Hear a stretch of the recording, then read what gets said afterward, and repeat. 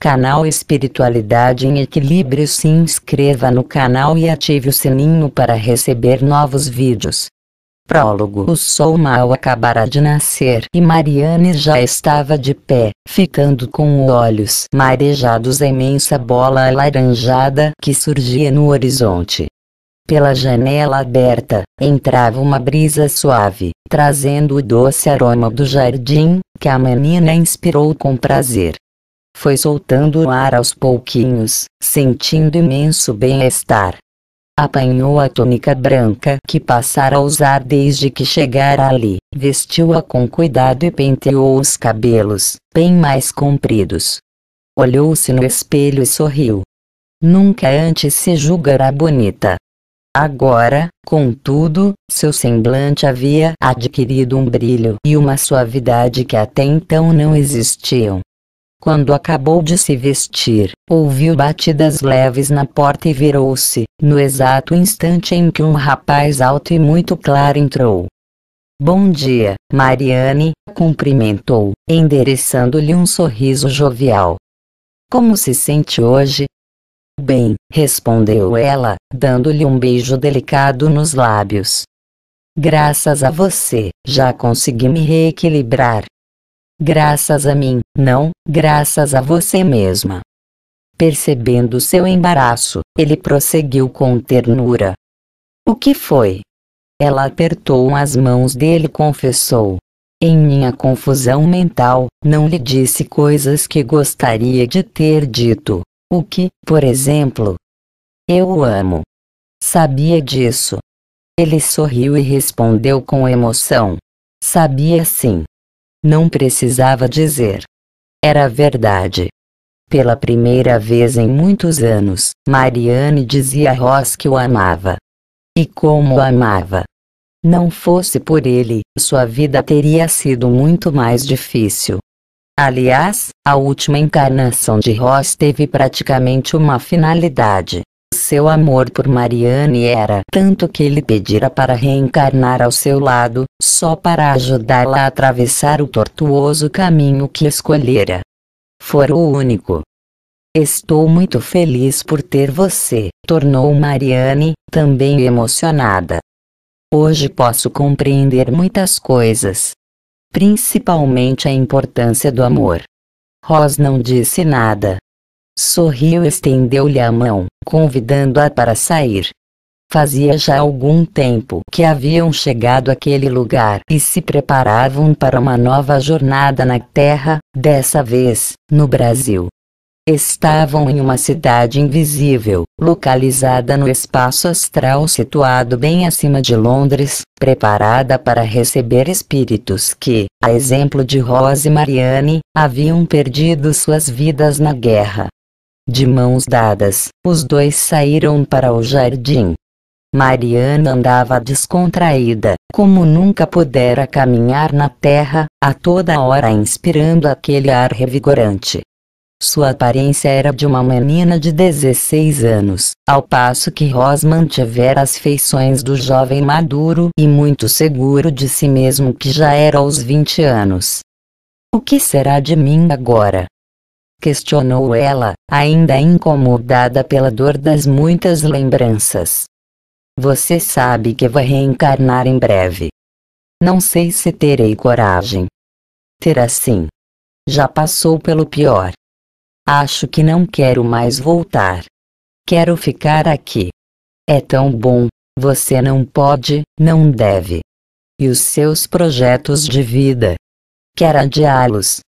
Mariana olhou indecisa.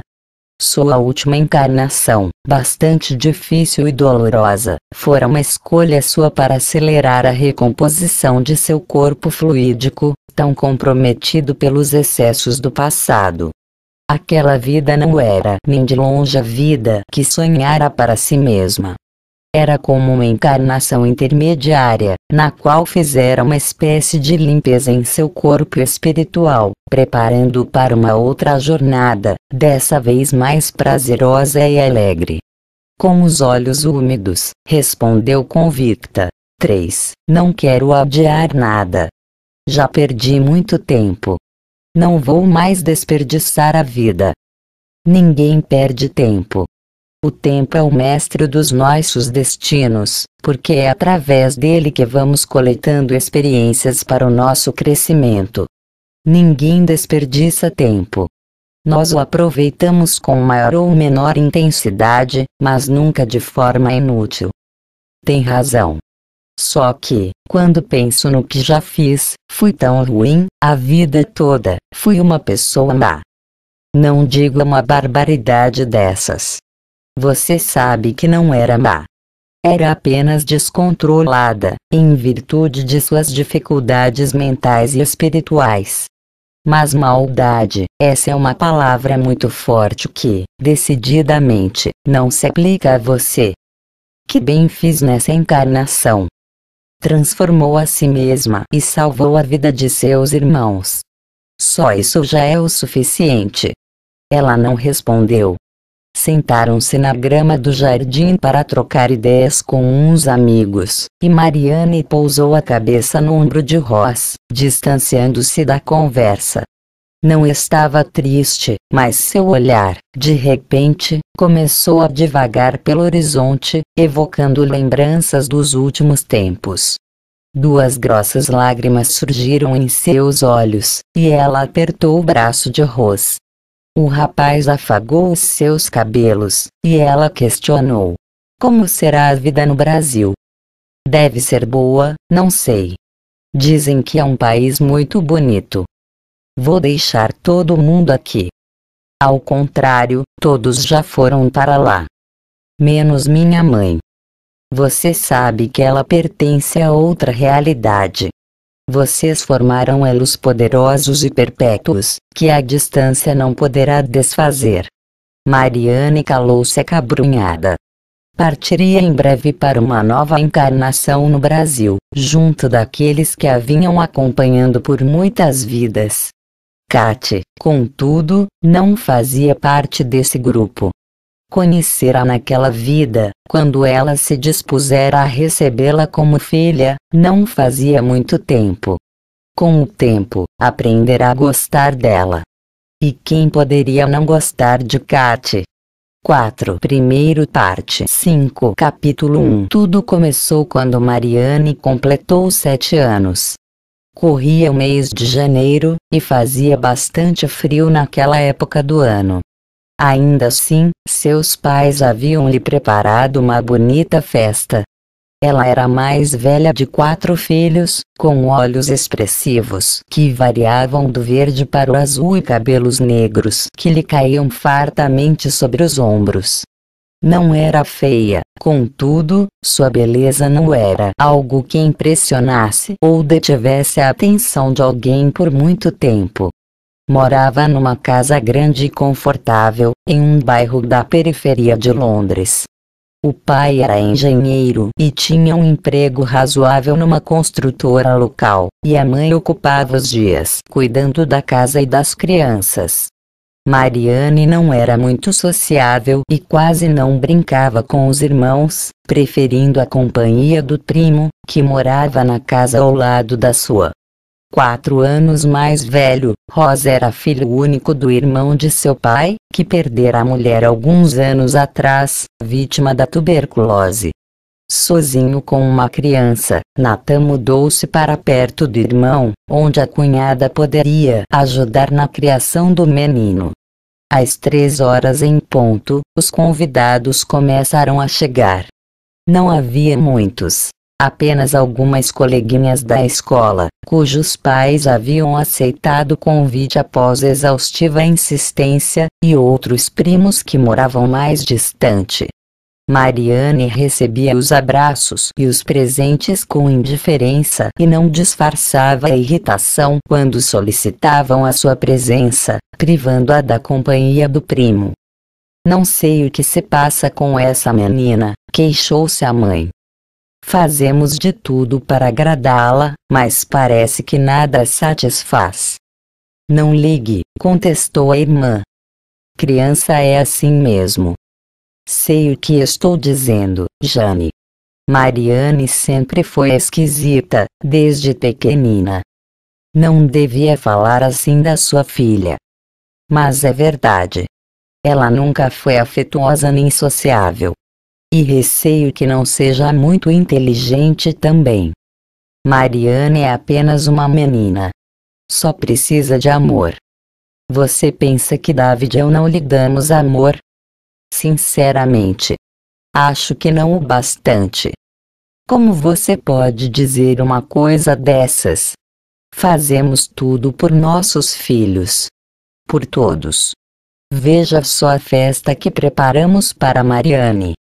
Acha mesmo que é disso que Mariane precisa? Toda criança gosta de festas, doces, brinquedos.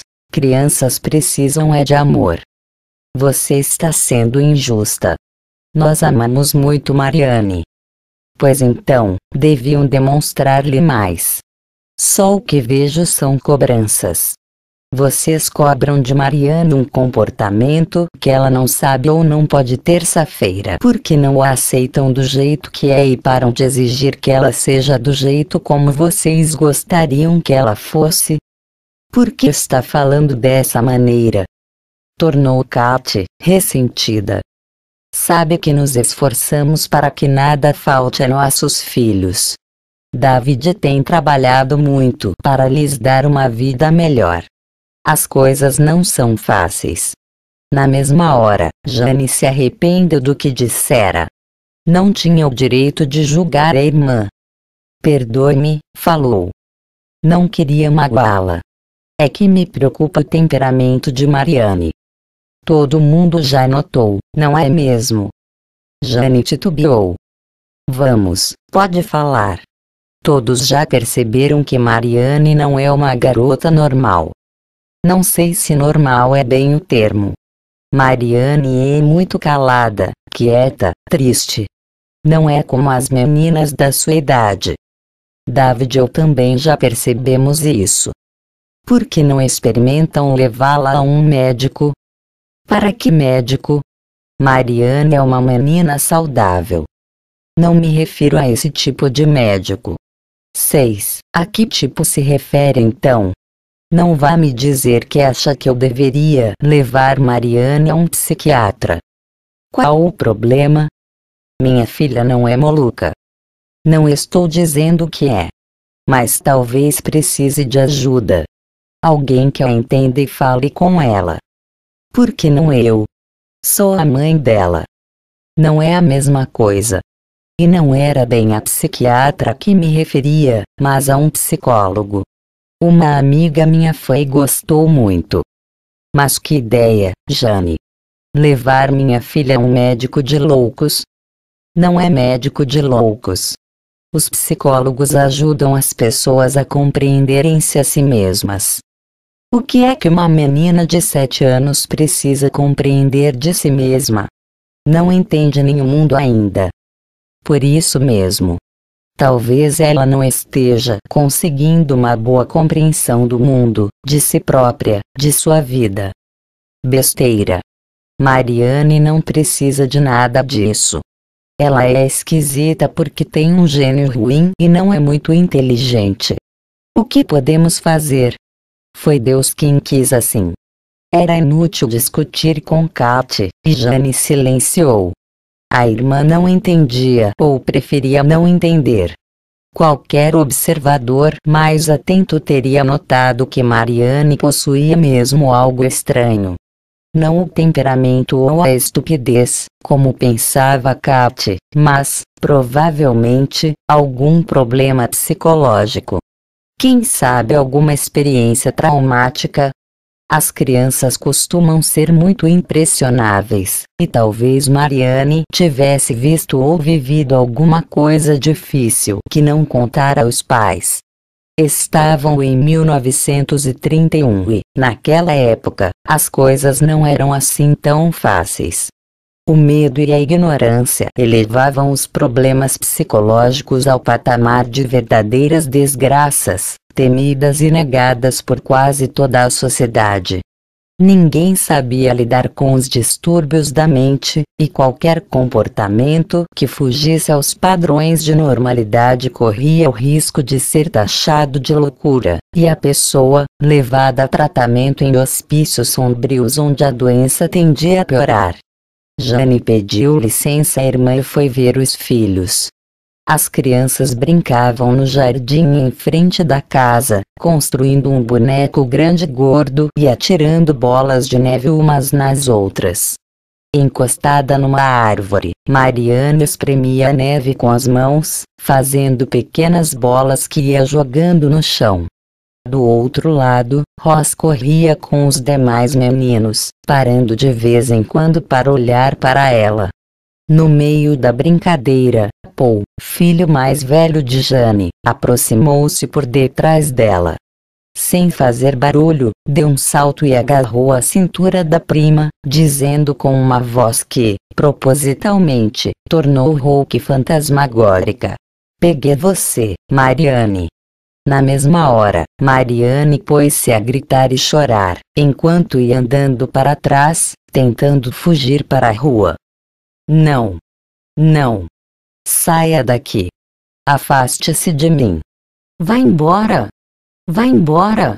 Assustado com a reação da prima, em quem apenas pretendia dar um susto, Paul foi seguindo-a para desculpar-se.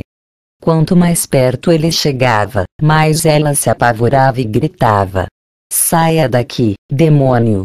Não o chamei. Mamãe! Mamãe! Ouvindo aquela gritaria, Kat correu para ela e sacudiu-a pelo ombro, exclamando preocupada: Mariane! O que houve? O que aconteceu? Mamãe! Continuava ela a berrar. Quero minha mãe. Estou aqui, tenha calma. Mariane olhou-a como se não a conhecesse, imaginando quem seria aquela mulher que lhe falava como se fosse sua mãe. Debatia-se desesperadamente, na tentativa de desvencilhar-se, ao mesmo tempo em que gritava aterrada: Não! Você não é minha mãe. Não conheço você. Onde está minha mãe? Onde está? 7. Alguns parentes tentaram acalmá-la com palavras doces e, ao mesmo tempo, carregadas de uma repreensão velada. Já passou. Foi só um susto. Foi brincadeira. Que brincadeira? Quem são vocês? Todos se entreolharam atônitos. Ela parecia delirar. Foi então que David veio lá de dentro, gritando com ela. Se isso é alguma piada, não tem a menor graça. Está assustando sua mãe. Pare já com isso. Onde está, mamãe? Não posso vê-la. Mãe. Mãe. Quieta, Mariane. Esbravejou David, agora bastante enfurecido. Onde já se viu estragar assim a sua própria festa?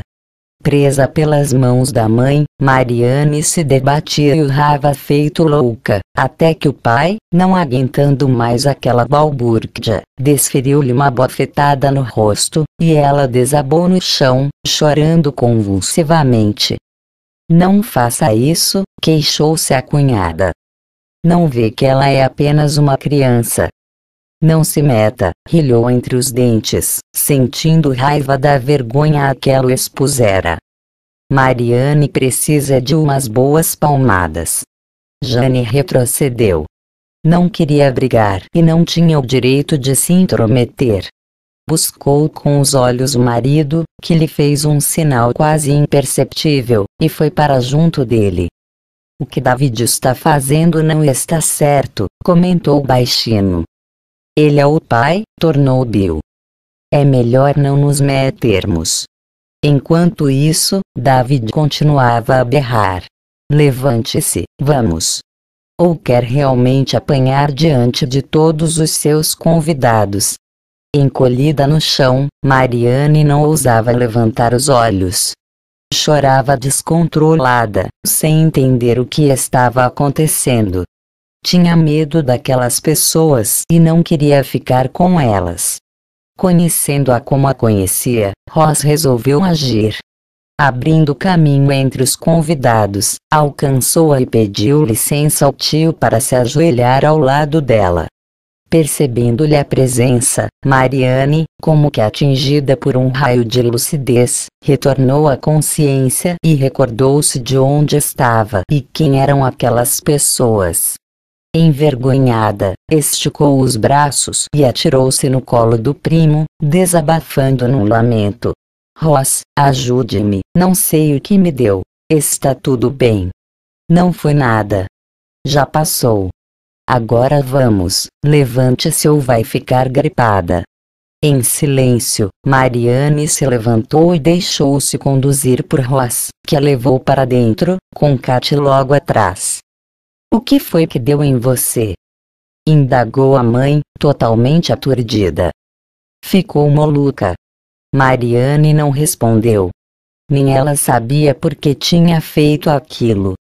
Só o que sabia era que, ao ouvir aquela voz, dentro dela despertara um medo inexplicável, como se um inimigo há muito perdido a tivesse, finalmente, reencontrado. 8 Capítulo 2 Enquanto se desenrolava o drama de Mariane, um espírito sombrio comemorava sua vitória. Aproveitando-se da mediunidade de Paul, aproximara-se dele e inspirara-lhe a ideia do susto, das palavras e do tom de voz que deveria usar. Sem de nada desconfiar, Paul seguiu a sugestão do invisível, realizando exatamente o que o ser das trevas desejava. Finalmente conseguira se aproximar. Até então, Mariana estava guardada por defensores iluminados que mantinham afastado. Durante muito tempo, ele a seguia e a vigiava de longe, sempre acompanhado por aqueles seres que se faziam propositadamente visíveis, como se desejassem ostentar sua superioridade moral. Como aquele era o dia do sétimo aniversário de Mariane, ele comparecerá à festa, mesmo sem ser convidado, na esperança de que um descuido dos protetores lhe facilitasse, ao menos, uma pequena aparição. Todavia, ao chegar à casa dela, notou, surpreso, que os espíritos de luz não estavam ali. No começo, desconfiou e permaneceu afastado, acompanhando os passos da menina, mas as horas foram passando, e nada de os espíritos aparecerem. Finalmente, reuniu coragem para agir. Foi assim que se aproveitou de Paul. Menino dado a travessuras maldosas, a primeira sugestão, acedeu à sua vontade, executando o plano que ele idealizara para assustá-la. O resultado foi excelente, melhor do que o esperado. E qual não fora sua surpresa ao perceber que Mariano vira através dos olhos do primo. Não só o vira, como também, inconscientemente, o reconhecera. Quase não conteve a euforia. Ainda percorreu todos os cantos da casa, para se certificar de que nenhum ser iluminado o incomodaria. Vendo-se sozinho, sentiu-se confiante. Os anjos protetores de Mariana haviam ido embora um. O espírito acompanhou até o quarto, para onde Rosa e a mãe haviam levado a fim de trocar as roupas molhadas. Ao ver o seu corpinho nu, não pode deixar de fazer uma observação sarcástica. Ora, ora, Mariane. Você está muito magrinha agora. Nem parece aquela mulher exuberante que foi um dia. Soltou estrondosa gargalhada, que Mariana ouviu nitidamente, embora não conseguisse ainda vê-lo. Quem é? indagou temerosa. Quem está aí? Não há ninguém aqui, respondeu a mãe de má vontade, enquanto enfiava uma blusa pela cabeça da filha. Mas eu ouvi alguém rindo. Devem ser seus amigos lá embaixo. Ela se aproximou da porta do quarto, que estava fechada, e chamou: Ros. É você? Do outro lado, o primo respondeu: O que foi, Mariane? Foi você quem deu essa risada? Que risada? A menina fitou a mãe, que a olhava com ar recriminador. Pare com essa besteira e venha terminar de se vestir. Já não basta o que aprontou hoje. Em silêncio, Mariane voltou para junto dela e terminou de se trocar. Por prudência, não fez mais nenhuma pergunta, pois a mãe estava visivelmente aborrecida, e era melhor não a provocar. Em seu íntimo, porém, continuava a indagar quem dera aquela risada. Ouvira um é aos sete anos que a criança inicia o seu processo de individualização, passando a direcionar-se pelo caminho espiritual, de acordo com suas tendências, e assumindo suas próprias responsabilidades. Por isso, até essa idade, os espíritos superiores se mantiveram mais próximos de Mariane, a fim de evitar que inimigos astrais conseguissem abalar a formação de suas bases para a vida física e a espiritual, que se formam durante os primeiros sete anos de vida. Na 9. Nitidamente. Tinha certeza de que não haviam sido as outras crianças, era uma risada cínica, ruidosa, maléfica. Sim. Aquela gargalhada tinha algo de maligno que a assustará, e ela se arrepiou toda. Fui eu, Mariane, respondeu o espírito. Seu amigo Luther, não se lembra? Bonito nome, esse que escolheram para você. Mariane, ela deu um salto para trás. Ouviu claramente o que ele dissera e se assustou. Conhecia aquela voz e sentiu uma presença familiar. Era de alguém que representava uma ameaça. O que foi? Tornou Kate. Ainda ouvindo vozes. Apavorada, Mariane abriu a porta do quarto e correu para fora, encontrando Ross no corredor, parado perto da escada. Puxa! exclamou ele. Até que enfim, ela não lhe deu tempo de terminar. Atirou-se em seus braços, toda trêmula, e começou a chorar baixinho. Vamos embora logo, chamou a mãe. Todos devem estar preocupados. Também, onde já se viu fazer o escândalo que você fez só por causa de uma brincadeira? Vamos, Ross, traga sua prima para baixo. Ross percebeu que havia algo errado com a menina, mas preferiu silenciar. Se dissesse alguma coisa, a tia ficaria ainda mais zangada. Kate passou por eles e foi descendo as escadas, murmurando que deveria ser uma recriminação. Não quero ir, protestou Mariane. Tenho medo. Medo de quê? retrucou Ross. Não sei. De Luther. O nome brotou espontaneamente de seus lábios, como se ela já o tivesse ouvido muitas e muitas vezes, embora não se lembrasse onde nem quando. Luther? Tornou Ross, em dúvida. Quem é Luther? É alguém que apareceu, não diga isso, censurou ele, colocando os dedos sobre seus lábios. Quer que sua mãe fique zangada. Como é que é? Era a voz de Kate, chamando do pé da escada. Vocês dois vêm ou não vêm? Ross lançou um olhar encorajador a Mariane, segurou-lhe a mão com firmeza e desceu com ela. No andar de baixo, as crianças já estavam na sala, esperando para cantarem o parabéns. Havia começado a nevar, e algumas pessoas queriam ir embora, com medo de que a neve aumentasse e os retivesse ali. A aniversariante tomou lugar atrás do bolo, sempre com Rosa a seu lado. Alguém acendeu as velas e todos começaram a cantar. Parabéns para você. De onde estava? Mariane via os rostos ao seu redor. A mãe fingia que nada havia acontecido. O pai estava carrancudo, tentando disfarçar o mau humor. Os pais de suas colegas de escola estavam meio sem jeito, querendo arranjar uma boa desculpa para ir embora. Enquanto as vozes prosseguiam cantando, ela passou os olhos pela sala.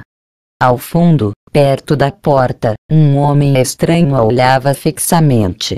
Era alto, magro e vestia roupas negras. Batia palmas vagarosamente e sorria um sorriso irônico e debochado.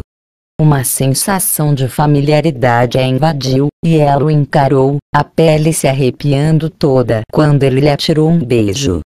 Quem é você? Pensou. Sou seu amigo Luther, respondeu o homem em voz alta e soltando nova gargalhada. Aquilo foi o suficiente para descontrolá-la. Completamente aterrada, Mariane fez menção de fugir, mas o olhar severo dos pais a impediu. Parecia que uma multidão gritava sem parar, e ela foi se sentindo invadida por aquela gritaria, como se centenas de vozes clamassem ao mesmo tempo por vingança. A seu lado, o primo percebeu que havia algo errado.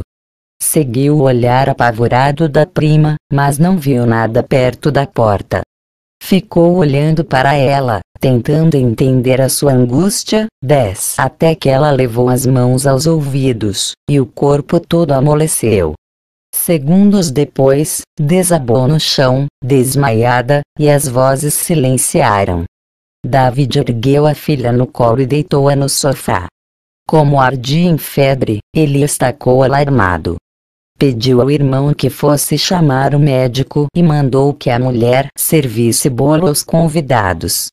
Kate, agora seriamente preocupada, ia cortando o bolo e distribuindo as fatias, enquanto se desculpava. Sinto muito, minha gente. Mariane não está bem. Deve ser gripe. Está fazendo muito frio.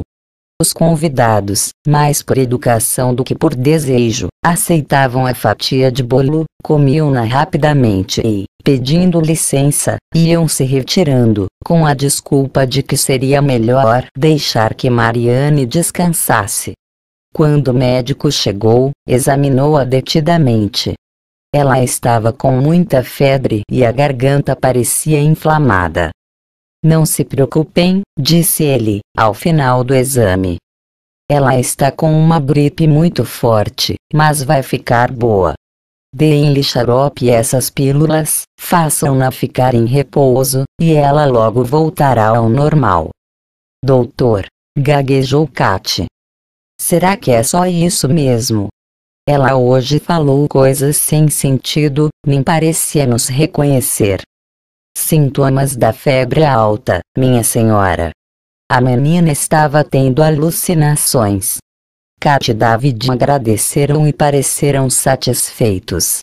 Levaram-na de volta para o quarto e a puseram na cama. Posso ficar aqui com ela, tia Kat?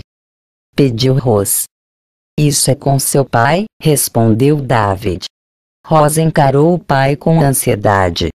Nathan coçou o queixo e piscou para ele, acrescentando com bonomia. Está bem. Se sua tia não se importar, não me importo, falou Kate. Vai fazer bem a Mariane. Nathan se foi, e Kate tratou de cuidar dos outros filhos. Com aquela confusão, haviam ficado de lado, e eram ainda muito pequenos para se arranjar sozinhos mais novos que Mariane, havia Roger, com 5 anos, em seguida Kevin, com 3, e, por último, a pequena Suzy, de apenas um ano. Kat apanhou Suzy no colo e chamou os outros dois, que saíram atrás dela. Depois de acomodá-los na cama, foi ver como Mariane estava passando. Abriu a porta do quarto vagarosamente, e Rosa levantou a cabeça, Estava ajoelhado ao lado dela, o rosto pousado sobre o colchão, quase adormecido. Puxando pela mão, Katia ajudou-o a se levantar. Em silêncio, estendeu um cobertor no chão, colocou sobre ele um lençol e um travesseiro e mandou o menino se deitar, cobrindo com uma grossa manta de lã. Já bastante sonolento, Ross tornou a se deitar e imediatamente adormeceu, somente despertando no dia seguinte, com Mariane sentada a seu lado. Bom dia, amiguinho, cumprimentou ela, dando-lhe um beijo na face. Como está? retrucou o primo carinhosamente. Melhor? Não sei. O que foi que tive? Não se lembra? Ela estreitou a vista, puxando pela memória, e respondeu hesitante. Lembro, aos poucos foi recobrando a lembrança daquele ser maligno, e seu coração disparou. O que foi? Preocupou-se Ros. Aquele homem, que homem? Não sei. Era feio, esquisito. Falou comigo. Quem? Não vi ninguém. Eu vi. Disse que seu nome era Luther e que era meu amigo. Você está imaginando coisas. Não estou não. Eu vi, tenho certeza. Ela levou a mão à boca e acrescentou espantada. Será que era um fantasma? 11. Credo, Mariane. A porta do quarto se abriu, e Katia apareceu com um frasco de vidro e uma colherzinha. Experimentou a testa da filha, entornou o xarope na colher e fez com que ela bebesse. Vejo que está melhor, graças a Deus. Estou sim. Ótimo. Que susto nos deu, hein? Falando aquelas coisas, Mariana encarou o primo e disse, sem desviar os olhos dos dele: Mamãe, acho que vi um fantasma. Kate pousou o vidro de xarope na mesinha, colocou a mão na cintura e repreendeu com uma certa impaciência. Deixe de bobagens. O Dr. Brown disse que foi tudo alucinação. Você estava com muita febre. E agora, chega dessa tolice, encerrou o assunto e virou-se para o sobrinho. Vamos, Ross, levante-se e vá se lavar. Já está na hora do café? Ah! Titia, deixe-me ficar aqui. Nada disso. Você não está doente. Desça e tome seu café. E Mariane? Não vai comer nada? Não estou com fome, protestou ela. Você também precisa se alimentar, objetou a mãe. Depois que Ross terminar de tomar o seu café, poderá lhe trazer uma bandeja. Está bem assim? Não havia como contestá-la. Em silêncio, Ross se levantou e fez como ela lhe ordenou. Terminado o desjejum, pegou a bandeja e levou-a para a prima, com leite, pão, manteiga, queijo e uma fatia do bolo de aniversário. Como gostava de Mariane. Ela não era sua irmã, mas bem que poderia ter sido. Ou, quem sabe, mais tarde poderia ser sua namorada. Será que poderiam? Eles eram primos, ele não sabia se primos podiam namorar. Mas ele a amava tanto.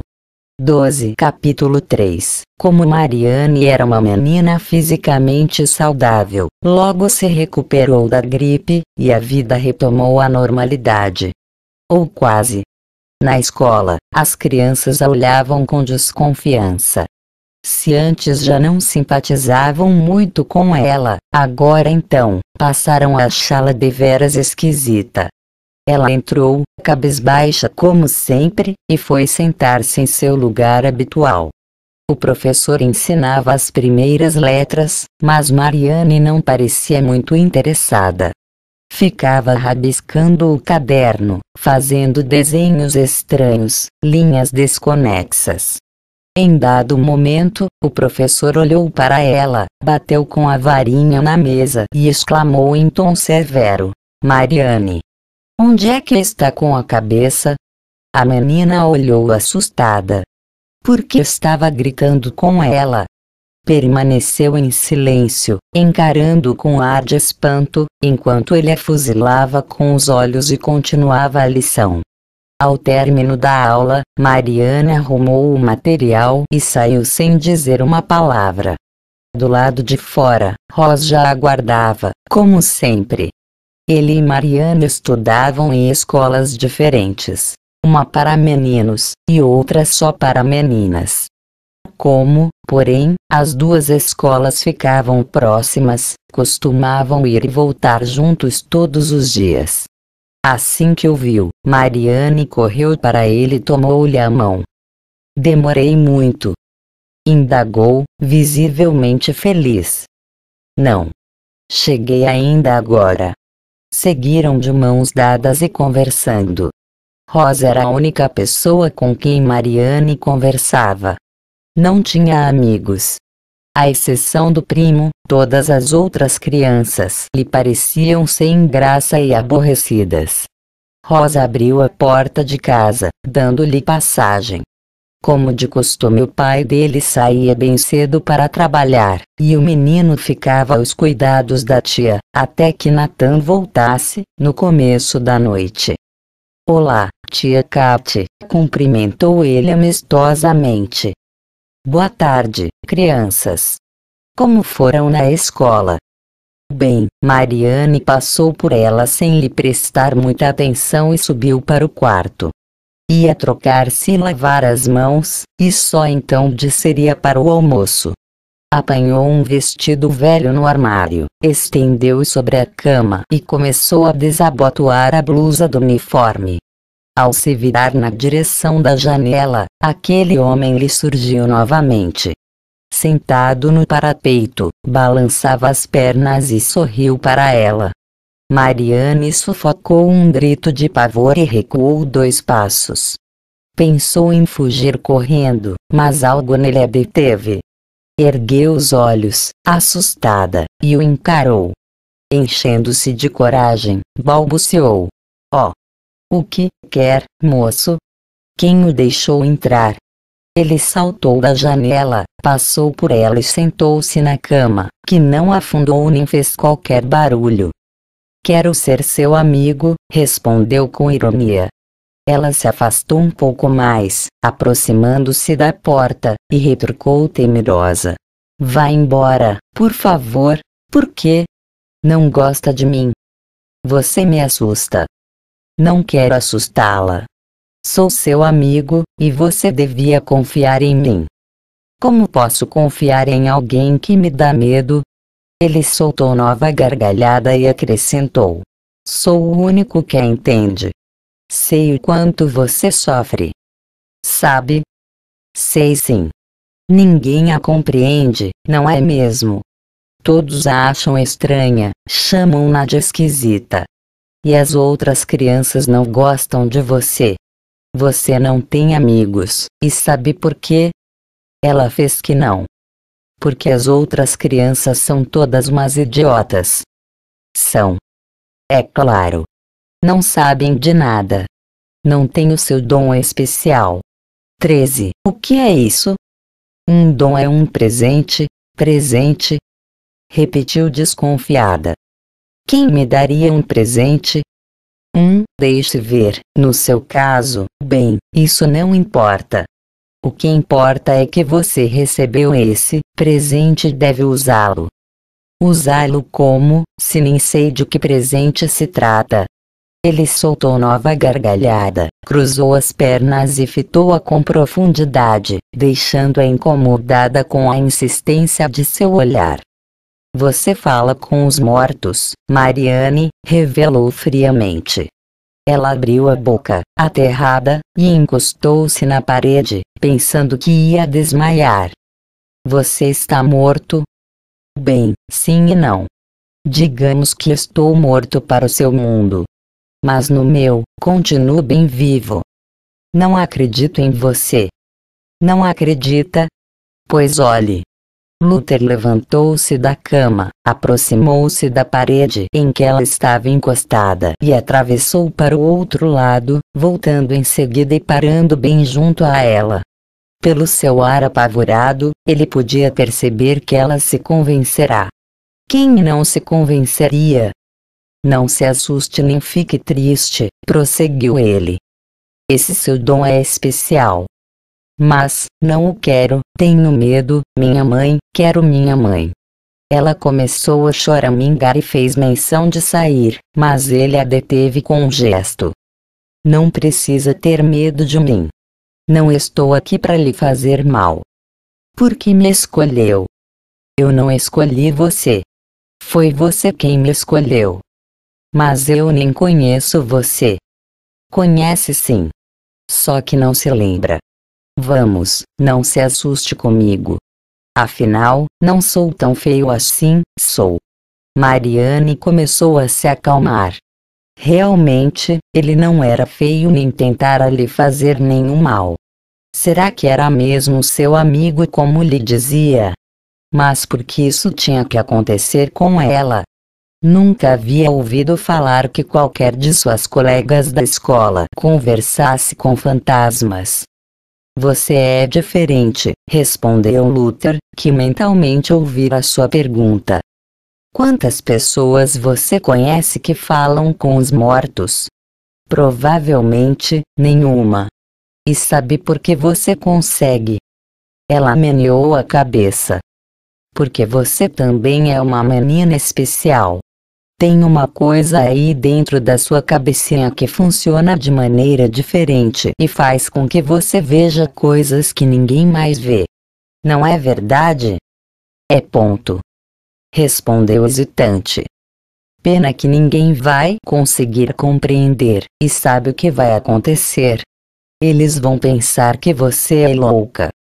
Eu não sou louca. Não, não é ponto. Ou quase. Não quero que você se zangue, Luther, mas não preciso de você. Eu tenho Ros. Não quero ser amiga de nenhum fantasma. Tem certeza? Teno. Luther a mirava fixamente e falou com voz sonora. Olhe, para provar que sou seu amigo, vou fazer um trato com você. Não vou mais aparecer para você, a menos que me chame. Não vou chamar você. Vai sim. Quando as coisas ficarem ruins, vai ver que sou o único amigo capaz de entendê-la. E aí então, vai me chamar. Ela estava realmente confusa, sem entender por que aquele espírito fora ali para atormentá-la. Talvez fosse melhor pedir ajuda à mãe, que já era grande e sabia resolver muitos problemas. 14. Eu não faria isso se fosse você, prosseguiu ele. Fazer o quê? Contar à sua mãe. Como é que sabe que estou pensando em contar à minha mãe? Sei muitas coisas, você não conhece minha mãe. Ela vai mandar você embora. Ela vai chamá-la de louca ou mentirosa. Não vai, não. E vai precipitar as coisas. Que coisas? Fazendo ar de mistério, ele não respondeu. Mariana estava muito confusa e assustada. Ficara tanto tempo no quarto, conversando com Luther, que nem percebeu a hora passar. Demorou tanto que a mãe, da cozinha, pôs-se a gritar o seu nome, sem que ela ouvisse. Kate teria mandado Rose ir buscá-la, mas o menino estava comendo, e ela resolveu ir pessoalmente chamá-la. Já na porta do quarto, parou com a mão na maçaneta. Ouviu a voz de Mariane do lado de dentro, conversando sabe-se lá com quem, e levou um susto. Encostou o ouvido à porta e pôs-se a escutar. Ela falava sozinha. Por que não me responde? Indagou Mariane, em seu aparente monólogo. Pausa, Kat não escutou a resposta de Luther. Só o que ouviu foi a voz da filha. Não entendo você. Fala de coisas estranhas. Novamente a resposta silenciosa, e a voz de Mariane se fez ouvir outra vez. Amigo, você quer me enganar. Pensa que não sei? Silêncio.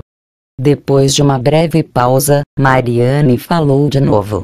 Se é meu amigo como diz, por que não para de me assustar? Nova pausa, novo monólogo.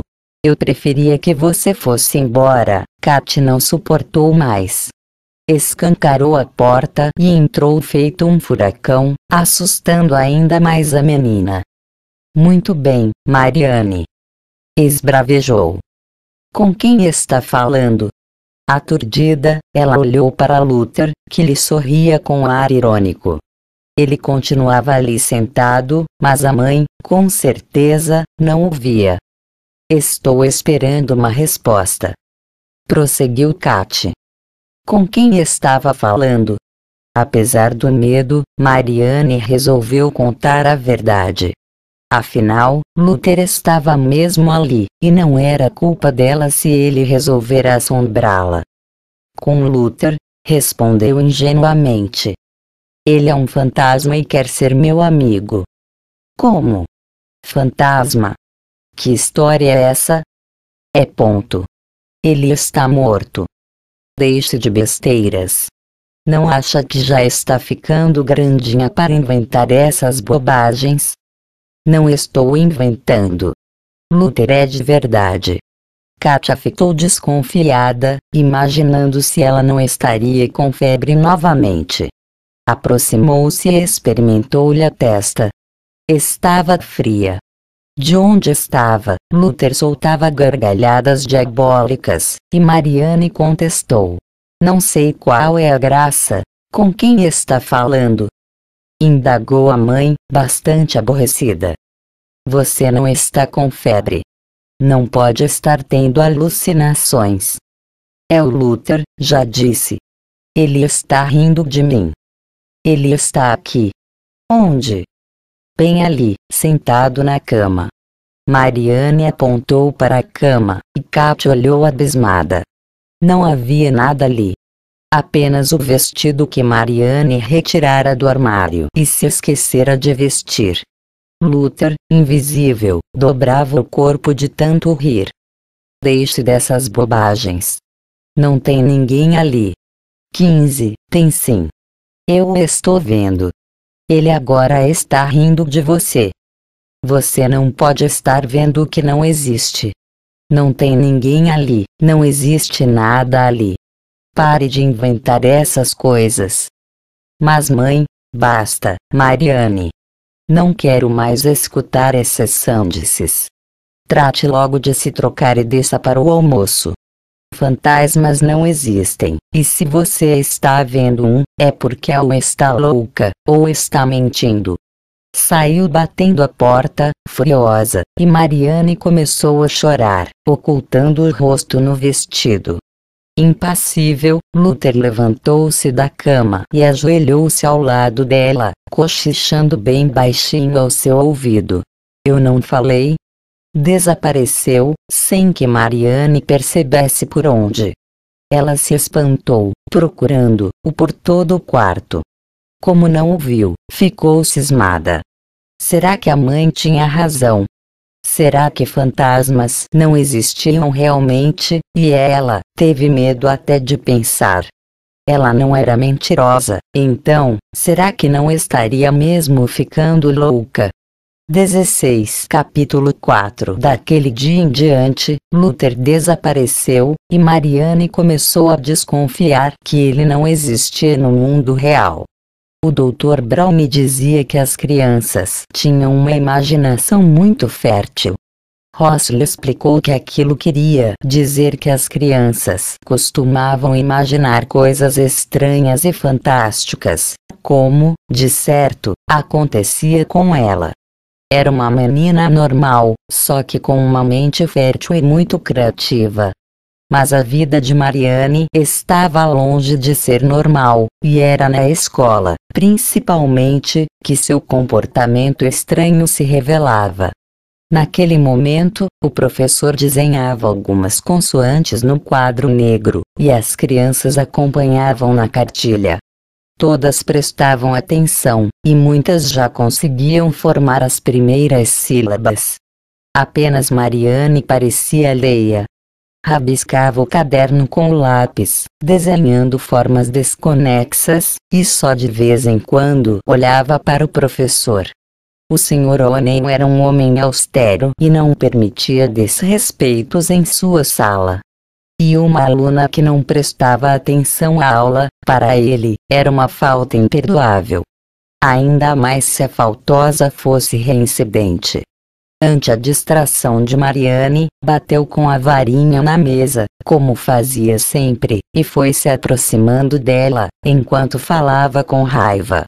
Divagando de novo, Mariane. A aula está muito aborrecida para você. Gostaria de algo mais divertido? Que tal, aula de desenho? Bruscamente, arrancou-lhe o caderno, e Mariane levou um susto. Olhos baixos, sentiu que ia chorar. Parado a seu lado, o Sr. O'Neill parecia maior do que realmente era, e ela encolheu-se toda. Cada vez mais empertigado, ele não parava de recriminá-la. Seu comportamento está ficando deveras impertinente.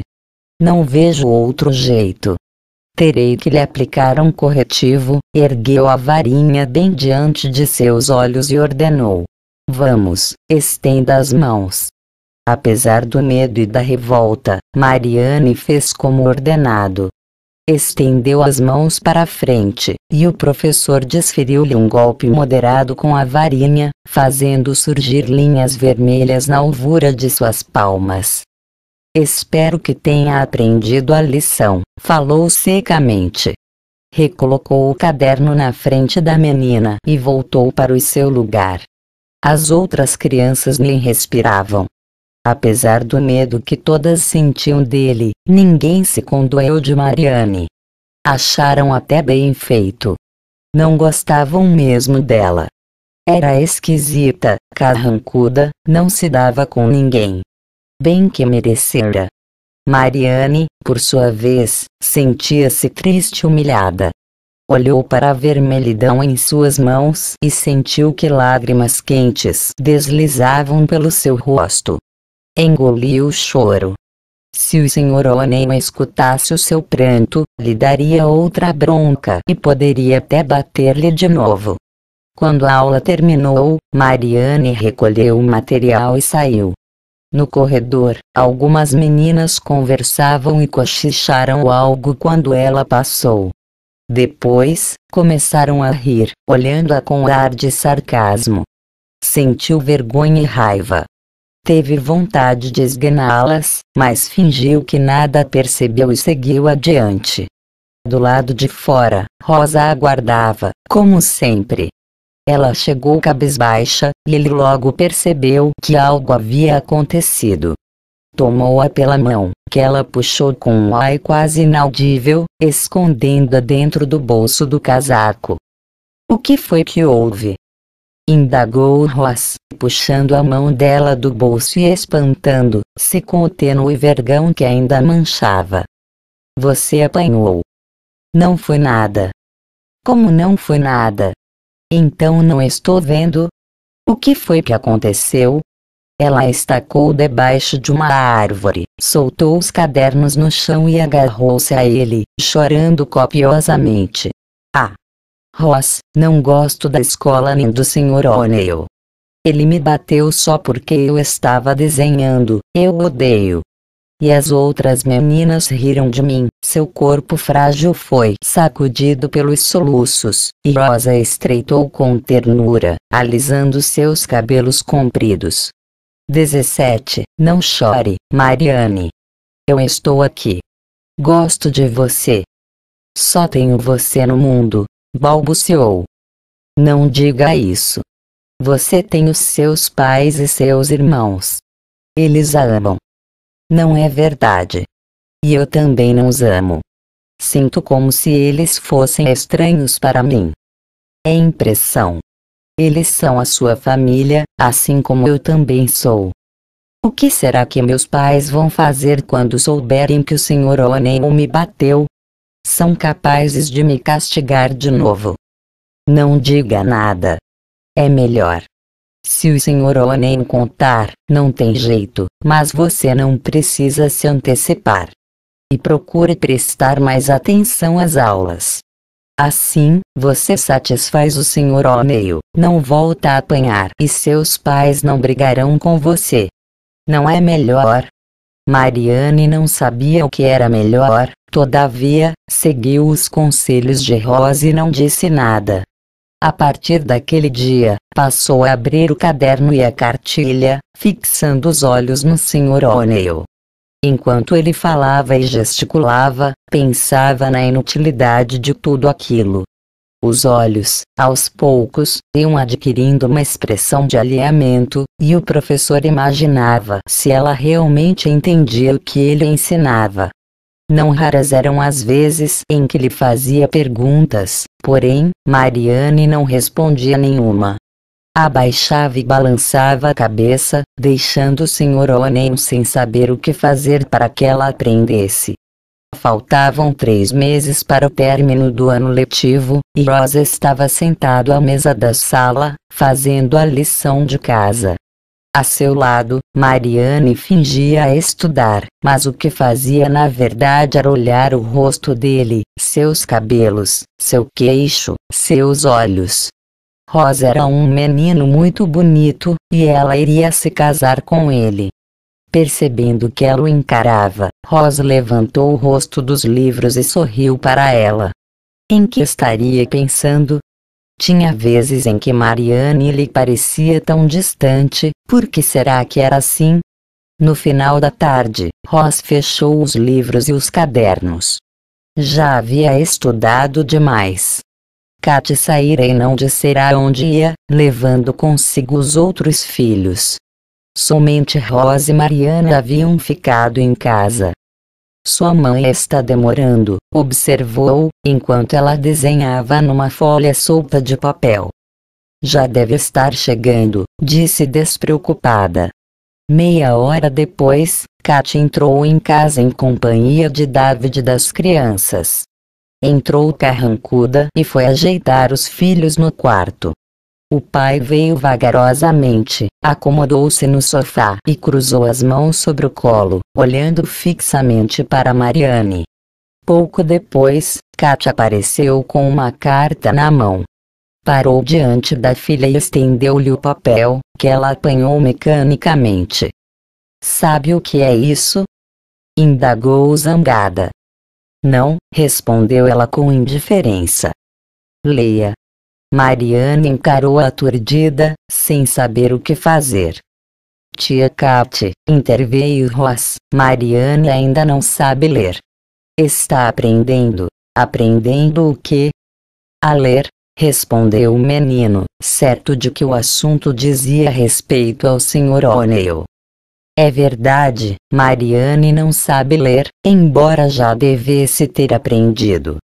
Se quiser, posso ler para você, ofereceu-se o menino. Não é preciso. Eu já li. Mas vou ler para Mariane. Ajeitou os óculos, pigarreou e prosseguiu. É uma carta da senhora Plumer, diretora da escola.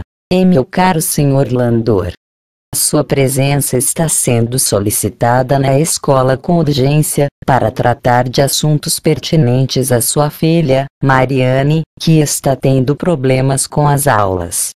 O Sr. O'Neill, nosso mais competente professor, já esgotou todos os recursos para fazer Mariane aprender a ler, sem sucesso, contudo, como último recurso, não vejo outra alternativa, senão chamá-los, ao senhor a sua esposa, para uma reunião em particular, onde serão discutidas as medidas que devem ser tomadas com relação à sua filha.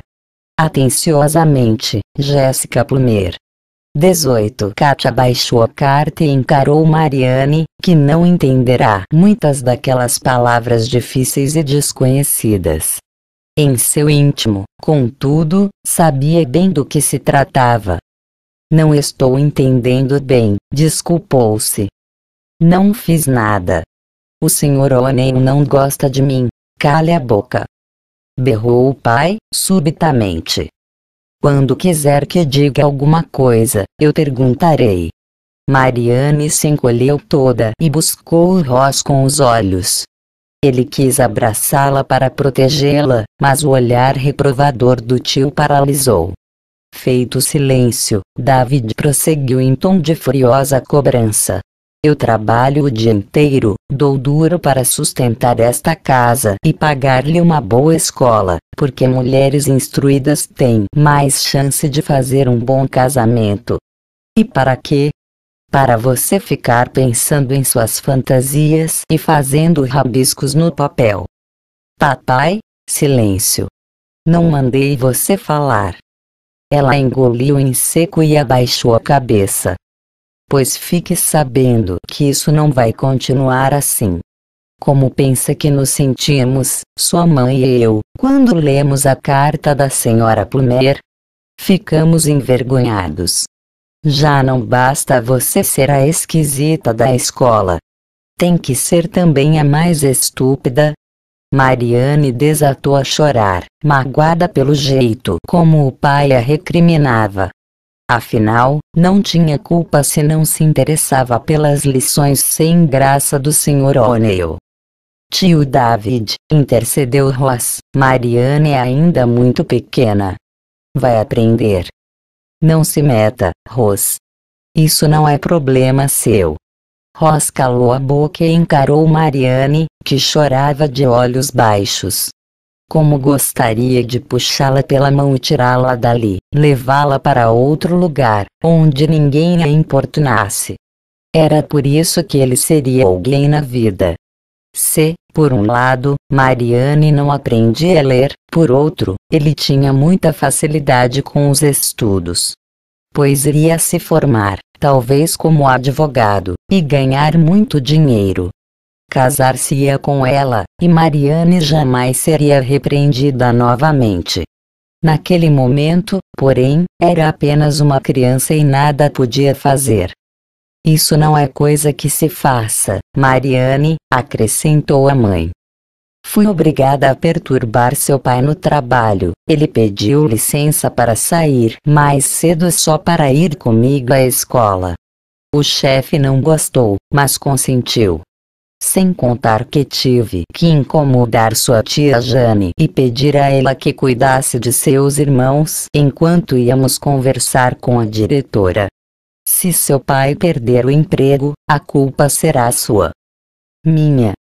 Mas o que foi que eu fiz? Sem prestar atenção ao que ela dizia, Kat continuava a falar. E tudo por quê? Porque você não consegue aprender. Todas as suas colegas já aprenderam. A turma toda sabe ler. Menos você.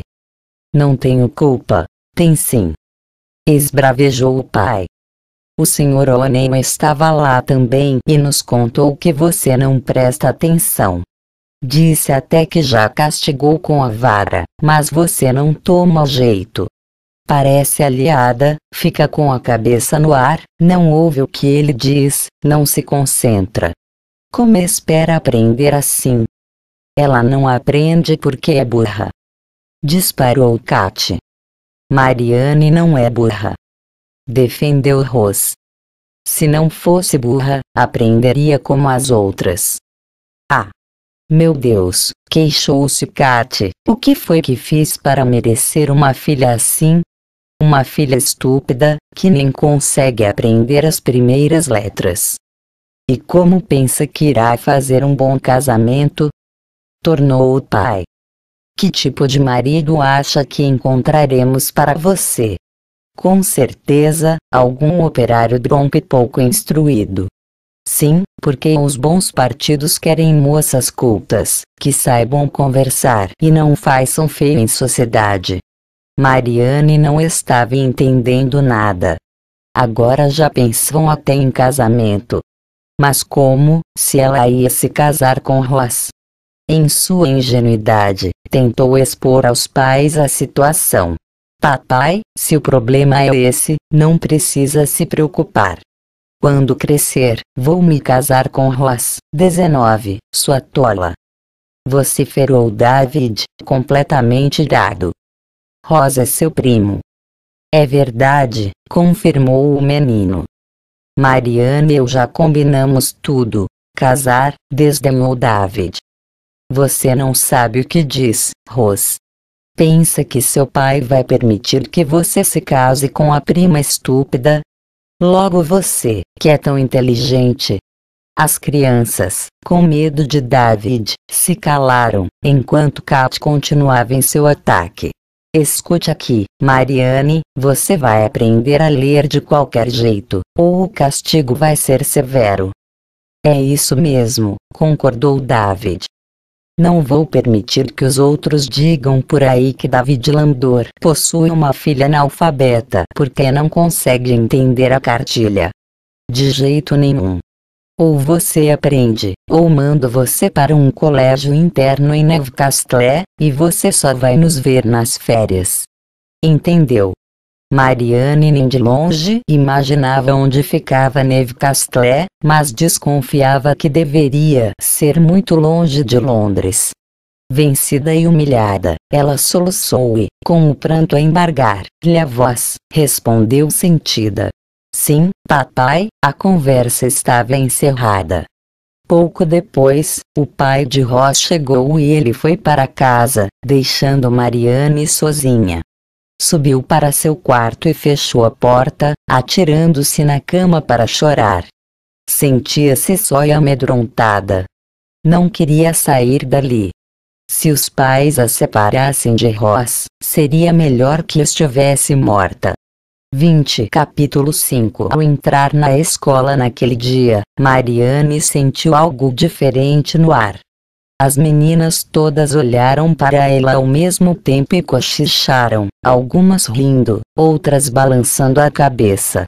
Em seus rostos, Mariane podia ler a reprovação e o sarcasmo. Sentada em sua carteira, livro aberto à sua frente, esforçava-se para entender o que o professor dizia. O Sr. Onen a olhava como se ela fosse uma aberração, já não lhe dava mais muita importância. Estava certo de que ela não era inteligente e não estava disposto a perder seu tempo com quem não tinha condições de aprender. Durante os dias que se seguiram, Rosa entregou-se à difícil tarefa de ensinar Mariane a ler. Apanhou a cartilha, sentou-se com ela à mesa e tornou-se seu professor. No começo, não foi fácil, ela não conseguia se concentrar, pois a mente não se fixava na lição. Escute, Mariane, disse-lhe Ross, certa vez, você tem que se esforçar. Ou quer se mudar para Newcastle e nunca mais me ver. A ameaça fora proposital, para deixá-la chocada. Ross dissera que Newcastle ficava perto da fronteira com a Escócia. Ela também não sabia onde ficava a Escócia, mas ele lhe mostrou no mapa, e pela distância que seu dedo percorrerá, indo de uma cidade a outra, percebeu que deveria ser mesmo muito longe. Não queria ir. Morreria se fosse. Não quero ficar longe de você, pois então, tem que se esforçar. Senão, seus pais mandam você para lá e nós não nos veremos mais. Não é isso que quer, e? Ela balançou a cabeça. Pois então vamos. Tente. Sei que pode. Mariane concentrou a atenção no papel e no que Ross dizia. De repente, tudo lhe pareceu fácil. O A ficou familiar, assim como as demais vogais. Em poucas horas, já memorizara todas. Nos dias seguintes, Ross lhe ensinou as consoantes e formou as primeiras sílabas, sempre acompanhando a cartilha. Mariane ia aprendendo com facilidade, lendo as palavras simples que compunham as primeiras lições. Em pouco tempo, já conseguia ler algumas frases, até que, finalmente, alcançou o nível da turma. Há pouco menos de uma semana dos exames finais, Mariane já estava pronta. Fez a prova com capricho, esforçando-se para não errar. O resultado foi brilhante, e até o professor se espantou. Mariane aprendia. Quando queria, era capaz de aprender qualquer coisa. O que acontecia era que, na maioria das vezes, não tinha vontade. Era difícil se concentrar, porque sua mente não se fixava em nada por muito tempo, já que nada prendia seu interesse. Distraía-se com qualquer coisa, principalmente quando voltava os pensamentos para Ross. O Sr. O'Neill, apesar de rigoroso, era um homem justo à sua maneira e não pôde deixar de elogiar o resultado de Marianne. Ao entregar-lhe a prova corrigida, a única nota 10 da turma, fez grandes elogios, não só ao seu desempenho, como à sua enorme força de vontade, que acabara por contrariar todas as expectativas que tinha a respeito dela. Quando saiu da escola, Rosa estava esperando e correu para ela assim que despontou no topo da escada. E então? Indagou ansioso. Como foi? Tirei dez, Ros. Dá para acreditar? Duas meninas vinham descendo as escadas. Ao passarem por eles, ouviram o comentário de Mariane, e uma disse bem baixinho à outra. Não dá para acreditar mesmo. Apesar do cochicho, Rosa escutou. E Mariane também. Ela ficou parada no meio da escada, vendo as meninas se afastarem. Não sabia se chorava ou se corria para esbofeteá-las. Ross, contudo, não lhes deu importância. Puxou a prima pela mão e finalizou. Deixe-as para lá. Estão com inveja. Vamos correndo contar a novidade à tia Kate. A felicidade que sentira havia poucos minutos súbitos se esvaíra. Parecia que aquelas meninas, com seu comentário maldoso, haviam despertado uma raiva desconhecida dentro dela. 21. Sentir raiva de tudo e de todos dos pais, dos irmãos, do professor, das colegas. Só não sentir raiva de Ros. A seu lado, Luther caminhava com eles. Mãos para trás, ia mentalmente falando para Mariane. Droga, cansei de esperar. Está certo que prometi não aparecer para você e não pretendo quebrar a minha promessa. Afinal, sou um homem de palavra, riu debochadamente e continuou. Mas é que está demorando muito. Pensei que você fosse logo chamar por mim. Acontece que esse aí não deixa, não é mesmo? Apontou para Ross, que não percebia a sua presença. Só Mariane percebeu. Não estava vendo o espírito, mas começou a sentir uma estranha sensação de torpor, e todos os seus pelos se eriçaram. Por isso, prosseguiu ele, resolvi dar um empurrãozinho. Sabe, Mariane, as pessoas não gostam de você, e você se irrita à toa. Veja que última combinação.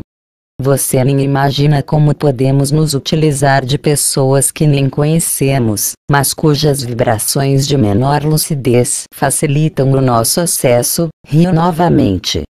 E depois, tem a sua dificuldade. Bateu com a ponta do dedo na cabeça de Mariane que, sentindo o cutucão, gritou espantada. Pai! O que foi? Indagou Rosa a seu lado. A menina olhou ao redor, desconfiada. Sentira nitidamente alguém bater em sua cabeça. No entanto, como não via nenhum espírito, achou melhor repetir para si mesma que aquela voz e a sensação que a acompanhava eram fruto da sua imaginação. E a cutucada era impressão. Luther soltou uma gargalhada e foi embora, tinha outras coisas a fazer e voltaria mais tarde, quando fosse a hora. Finalmente, as férias de verão chegaram, e Mariane se viu livre das maçantes lições. Podia passar os dias todos ao lado do primo querido, sem ter que se ocupar com coisas inúteis. Sentada à mesa da varanda, construiu um castelinho de cartas com arroz, os dois estavam distraídos, colocando as cartas umas sobre as outras, entusiasmados com a altura da construção. O irmãozinho de Mariane, Kevin, de apenas três anos, puxou uma cadeira e, auxiliado por Ross, sentou-se à mesa para olhar. Estava admirado, o castelo ia subindo cada vez mais, e ele olhava, extasiado, as cartas que balançavam sem cair. De tão admirado, estendeu a mãozinha para frente, na esperança de apanhar alguma. Como Mariane não permitia, fez um gesto mais brusco e acabou por esbarrar no castelo, que se desmanchou com leveza. Ross riu e gentilmente puxou a mão do menino, falando com brandura. Seu danadinho. Estragou o castelo do primo. Kevin riu gostosamente e olhou para Mariane, que o fuzilava com o olhar. Seu garotinho intrometido. Gritou ela, apertando a mão dele. Quem mandou? Na mesma hora, Kevin desatou a chorar, tentando soltar a mão que Mariane apertava. Solte-o, Mariane, pediu Ros. Ele não tem culpa. É pequenino. É um idiota, isso sim. Por que não se mete com os seus brinquedos? Kevin esperneava, tentando livrar-se das garras da irmã. A mãe, ouvindo o choro do filho, veio correndo lá de dentro e parou estupefacta. O que está fazendo, Mariane? Censurou aborrecida. Largue já o seu irmão. Não largo. Ele é um intrometido. Deu-lhe um beliscão no braço, e Kevin soltou um grito estridente, deixando Kat pálida de horror e indignação. Não podia permitir que a filha machucasse os menores. Sem nem pensar, desferiu uma bofetada no rosto de Mariane, que começou a chorar também. Isso se faz com seu irmão, esbravejou Kate. Uma menina desse tamanho. Que covardia. 22. Mariana encarou-a com raiva. Aquele tapa doía-lhe imensamente, e ela retrucou, com a mão no rosto. Você me bateu. Bati e bato de novo, se você não se comportar. Não vou permitir que maltrate seu irmão, que é muito menor do que você. Com um olhar ensandecido, Mariane começou a se levantar e teria avançado na mãe se Ros não a impedisse. Nem se atreva. Zangou ele. Mas Ros, ela me bateu. Você viu. Ela é sua mãe, e você não tem o direito de desafiá-la. Você também está contra mim. Ninguém está contra você. Está sim vai trocar de lado, e vai defender essa mulher? Isso lá é jeito de se referir à sua mãe, menina. Objetou Kat indignada. Você não é minha mãe. Kat perdeu a cabeça. Colocou Kevin no chão e desferiu novo tapa no rosto de Mariane, dando-lhe violento puxão de orelha. Vá já para o quarto, de castigo. E hoje, não tem jantar. Saiu puxando Mariane pela orelha, com Rosa atrás, tentando contornar a situação. Kate, contudo, estava perplexa e furiosa. Arrastou Mariane pelas escadas e trancou-a no quarto. Do lado de fora, Rosa ainda ponderava. Por favor, tia Kate, ela não fez por mal. Ela tem que me respeitar. Sei que ela errou, mas foi sem maldade. Por favor, deixe-me ficar com ela. Não. Mariane precisa aprender. E vou contar tudo ao seu pai, Mariane, está ouvindo? Berrou, com a boca encostada na porta. Barulhos no corredor e na escada indicavam que a mãe havia ido embora, levando Ross com ela. Sozinha, veio o arrependimento. Mariane não compreendia por que disser aquelas coisas, nem por que beliscar o irmão. Não queria fazer nada daquilo, mas de repente, não conseguiu se controlar. Uma fúria desmedida se apoderou dela, despertando o desejo de maltratar o menino. Não faria mais aquilo. Da próxima vez, conseguiria se controlar. Se não por ela, ao menos por Ross que era seu amigo e não merecia passar por aquela situação. Mariane não sabia, mas, a partir daí, dificilmente conseguiria se controlar outra vez. 23 Capítulo 6 Com as mãos mergulhadas na bacia, Katia esfregava as roupas, pensando no que fazer com a filha. A cada dia, Mariane se tornava mais estranha. No começo, era só arredia, agora demonstrava uma agressividade crescente. O episódio com Kevin fora preocupante, mas ela não comentara nada com David, com medo da sua reação. Estava ficando difícil controlar Marianne. O verão ainda não havia terminado, e ela passava os dias em casa, brincando sozinha ou com Rose. Kat não entendia porque Rosa era o único a quem ela escutava. Parecia mesmo ser o único de quem gostava. Levantou os olhos da bacia e vistoriou o quintal, onde as crianças brincavam. Do outro lado, Roger atirava pedras com um estilingue, tentando acertar as frutas maduras que pendiam dos galhos mais altos.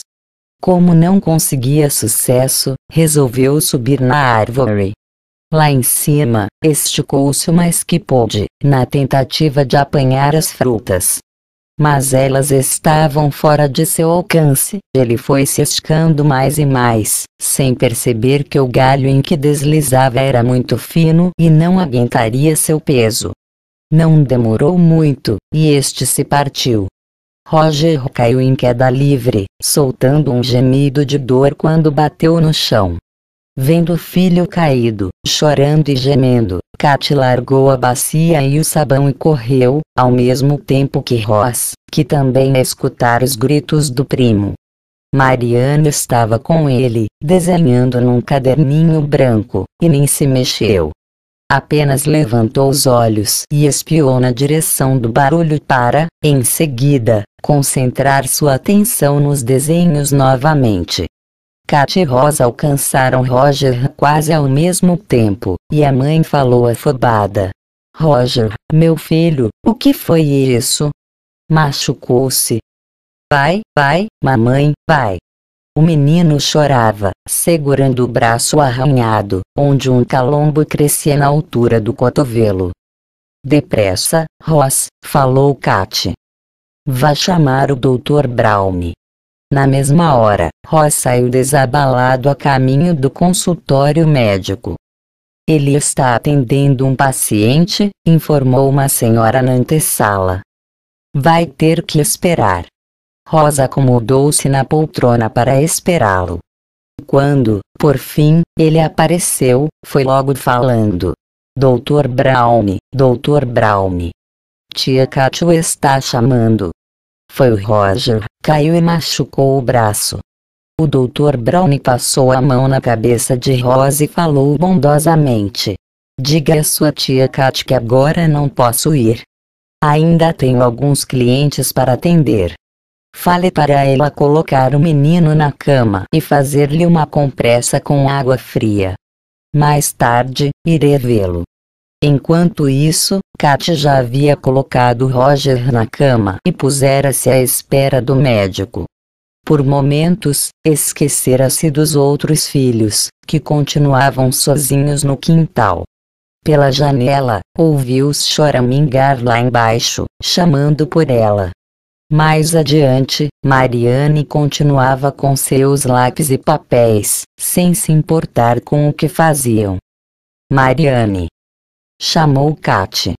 A menina ergueu os olhos e encarou a mãe, sem responder.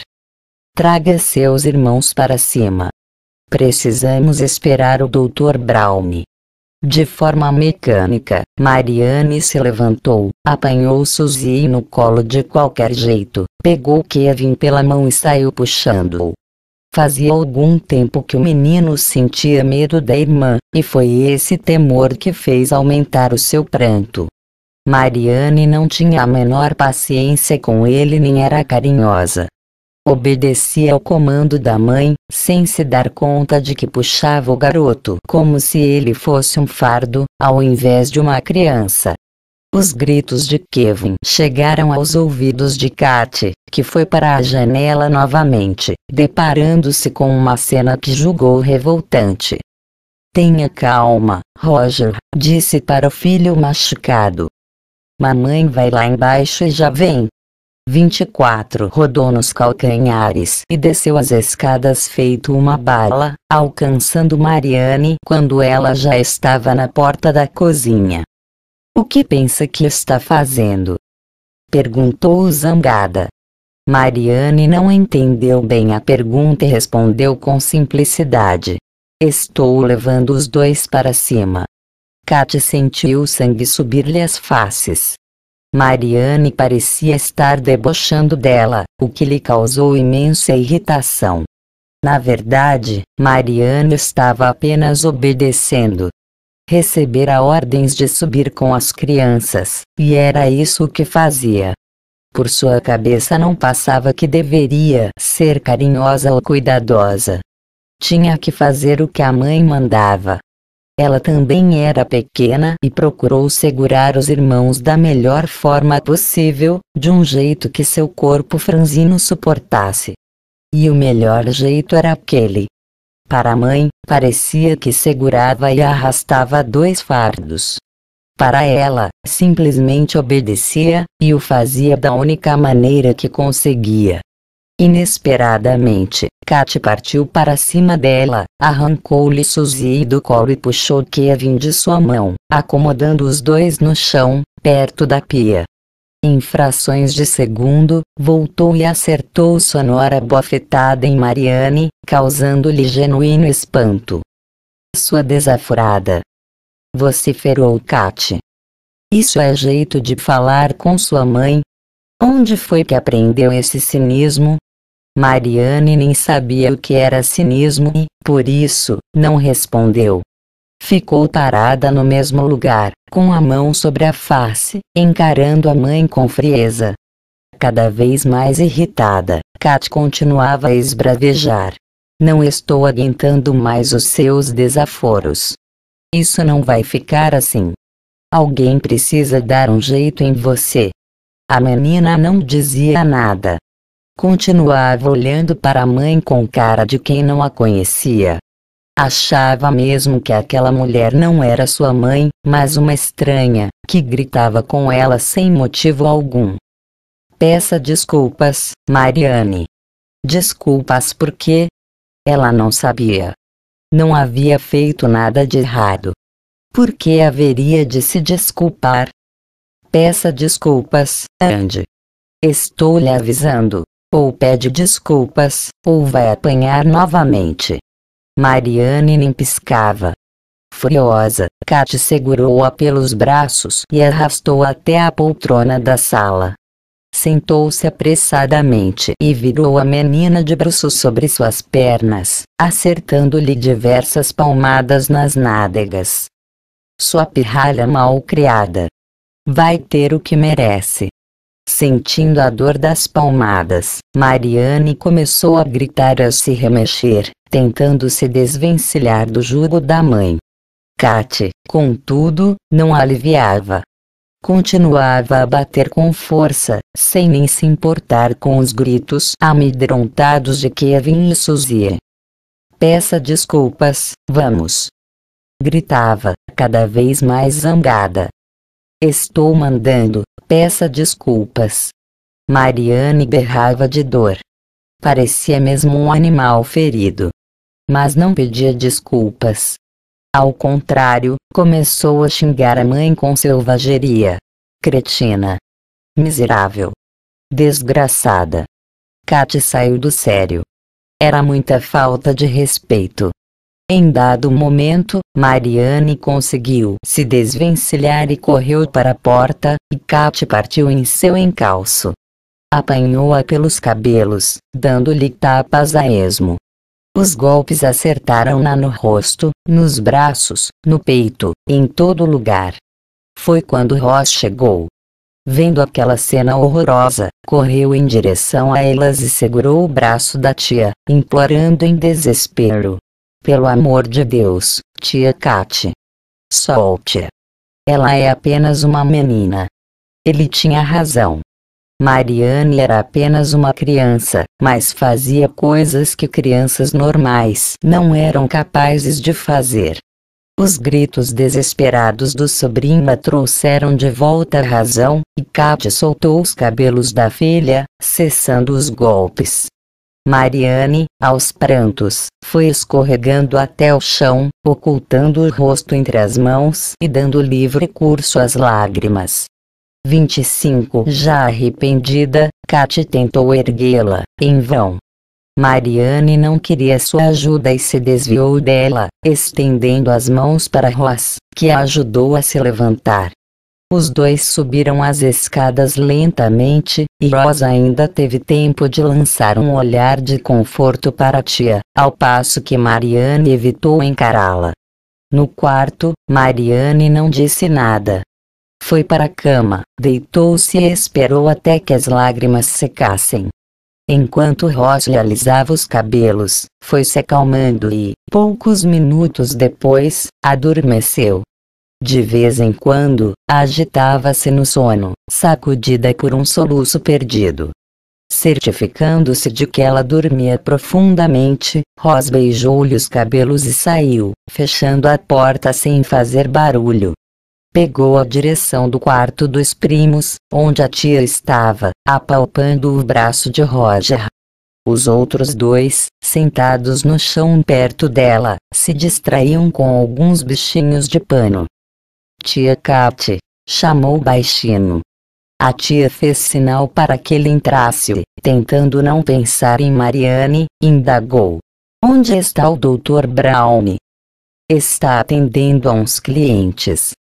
Disse para você fazer compressas de água fria no braço de Roger até que ele possa vir vê-lo. Muito bem. Fique aqui e tome conta deles.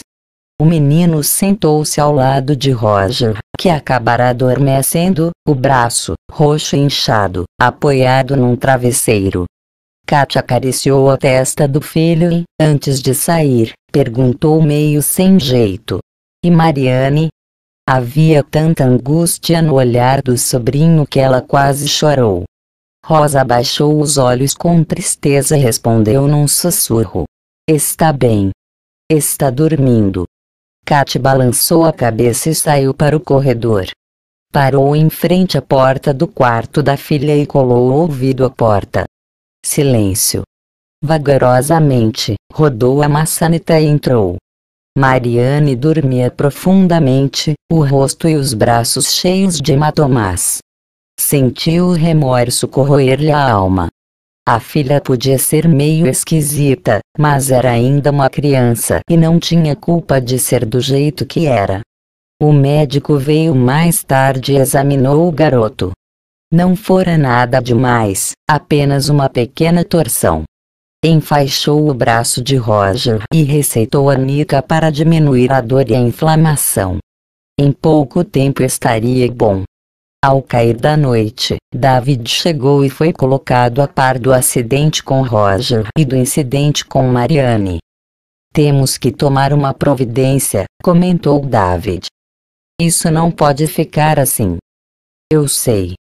Ela está se tornando cada vez mais agressiva e debochada. Onde será que anda aprendendo essas coisas? Será que é com Ross? Não creio. Ele é um menino muito educado e cortês. Jamais me respondeu mal ou fez qualquer má criação. Na escola não deve ser. É um dos melhores colégios para meninas da região. Não sei não, às vezes fico pensando. Será que ela não tem nenhum problema mental? Não diga besteiras. Mariane é rebelde e mal criada. Só isso. Mas não se preocupe, eu mesmo darei um jeito nela. Não faça nada por enquanto. Já basta a surra que lhe dei. Sei que me excedi e acho que não deveríamos puni-la outra vez. Katia encerrou o assunto, mas David não se convenceu. Alguma coisa dentro dele o deixou inquieto. No fundo, não achava nenhuma besteira a possibilidade de Mariane ter mesmo algum problema mental. Já havia reparado nisso. Nos últimos dias, olhando para a filha, ficou imaginando se ela não seria meio retardada. Mariane fazia coisas muito estranhas. Era rebelde, não se relacionava com ninguém. E agora, Kat lhe dizia que estava ficando agressiva e debochada. Além de tudo, parecia não se importar com nada. Os problemas da família não afetavam, e ela, 26, não se interessava pelos irmãos. Podiam estar bem ou doentes. Para ela era indiferente. Mariane não era uma menina afetiva. À exceção de Ross, não se dava com ninguém. David virou para o lado e tentou dormir. Se suas desconfianças estivessem corretas, seria muito doloroso para todos. Sem falar na vergonha. Ter uma filha moluca não era do agrado de ninguém. Poderia até comprometer o seu cargo na empresa e o futuro dos outros filhos. Mas o que poderia ele fazer? Levá-la ao tal psiquiatra? Interná-la?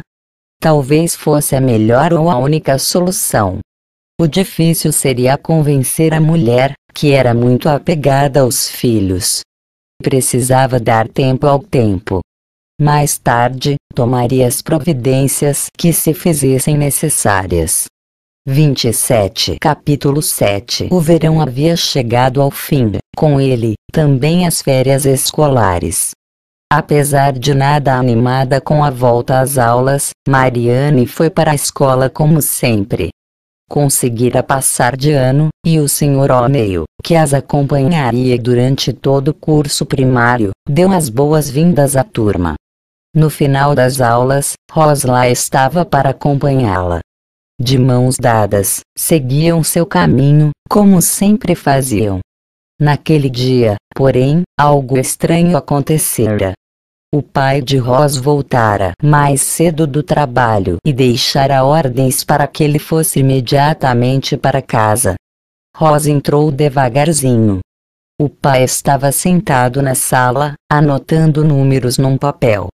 Quando viu o menino, soltou o lápis e sorriu, fazendo sinal para que ele se aproximasse.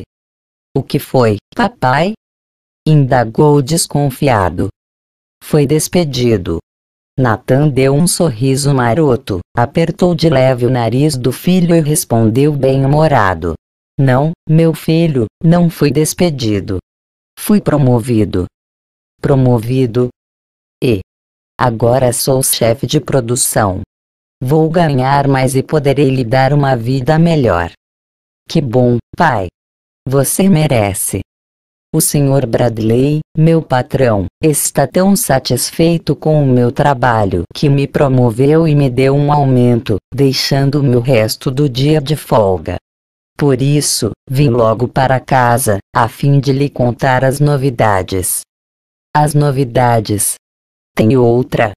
Natan pigarreou e começou a falar, cautelosa e pausadamente. Já faz alguns anos que sua mãe morreu, sua tia Katy tem sido muito boa para você, e eu lhe serei eternamente grato. Contudo, creio que chegou a hora de você ter uma mãe de verdade. Mãe de verdade? Como assim? Já tenho tia Katy. Eu sei, balbuciou, evitando encará-lo. Como disse, serei eternamente grato à sua tia. Entretanto, ainda sou jovem, e você, uma criança. O que está tentando me dizer? Ele pigarreou novamente, sentou o menino em seu colo e disparou. Faz algum tempo que conheci uma moça, seu nome é Lilian, e. Vamos nos casar.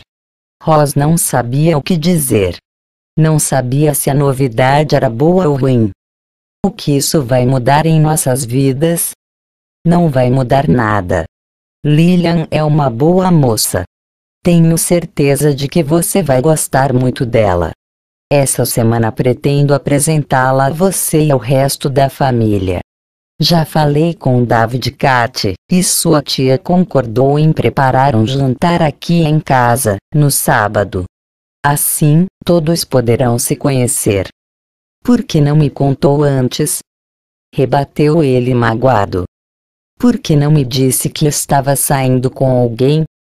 Bem, esses não são assuntos que se converse com crianças. Sou seu filho. Ainda assim. Mas não se preocupe. Tenho certeza de que vai gostar dela, e ela de você.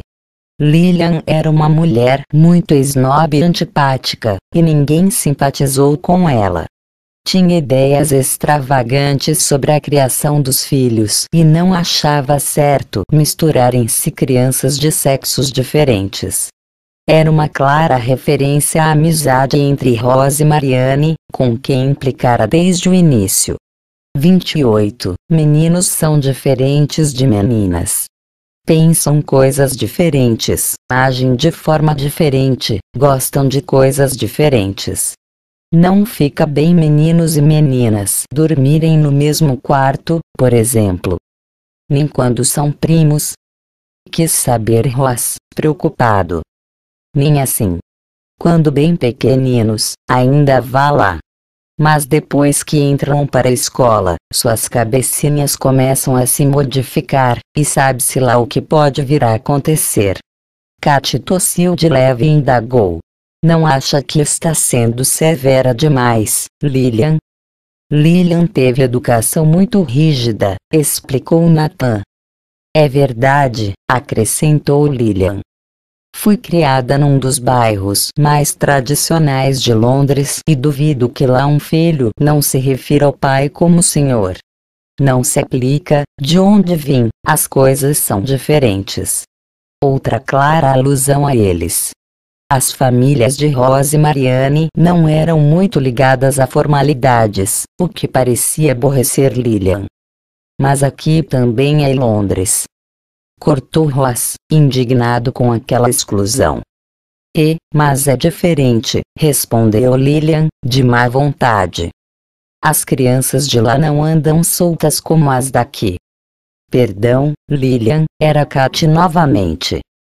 Fala em aqui como se estivesse se referindo a cidades diferentes, como se fôssemos provincianos ou roceiros. E depois, nossas crianças não andam soltas.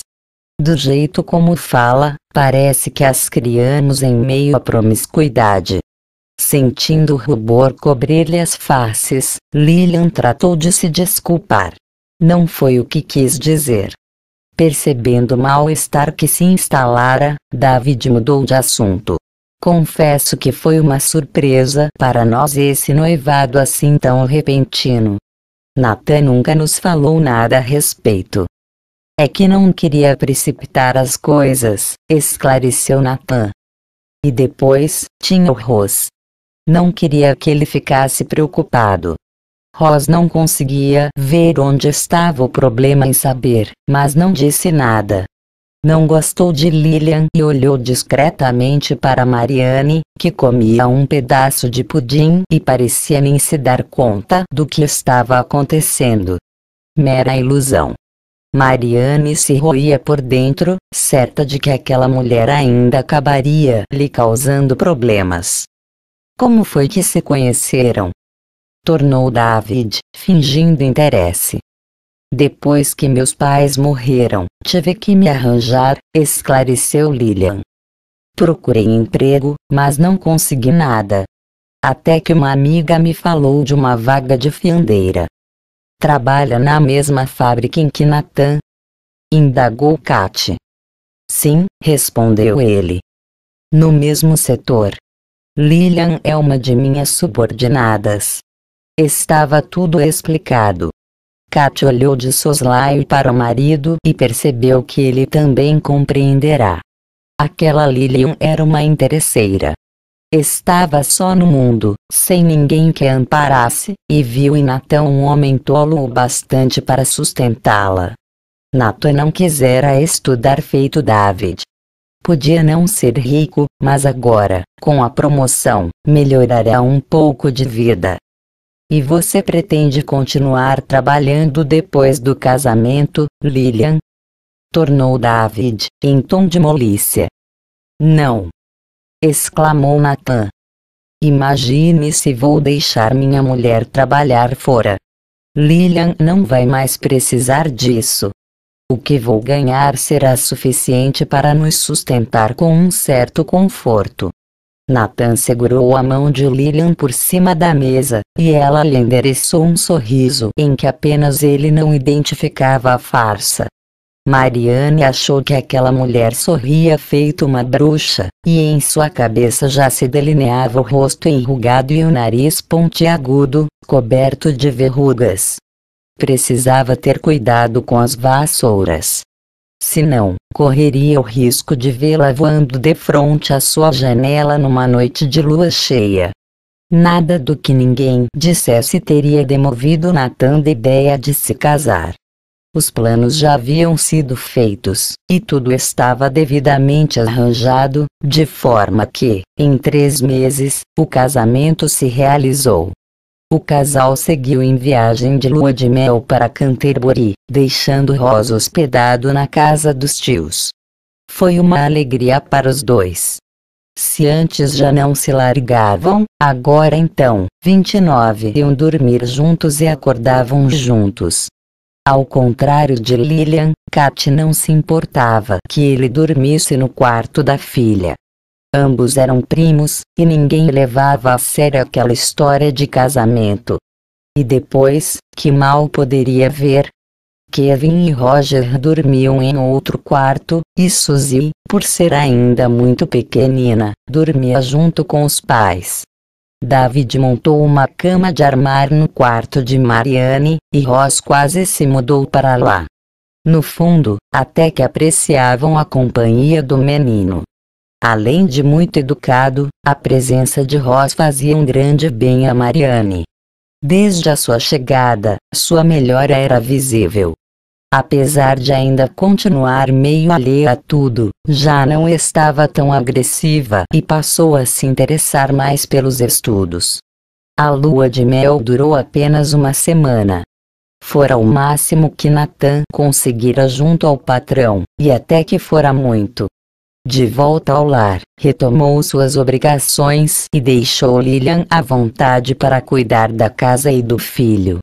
A curta estada de Rosa em casa de Mariana havia terminado, e a melhora que ela experimentara naquela semana desapareceu em poucos segundos. Quando viu Rosa atravessar o quintal rumo à sua própria casa, Mariane caiu em profunda depressão. Não fique triste, consolou a mãe. Tudo vai continuar como antes.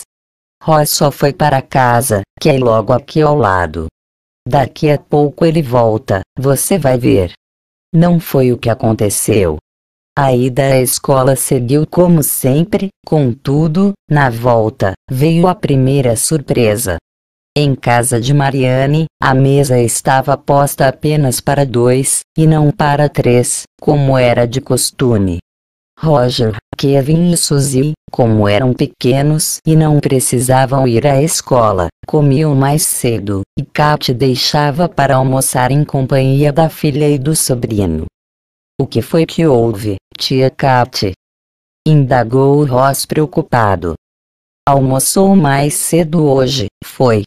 Kat fitou com desgosto e respondeu desanimada.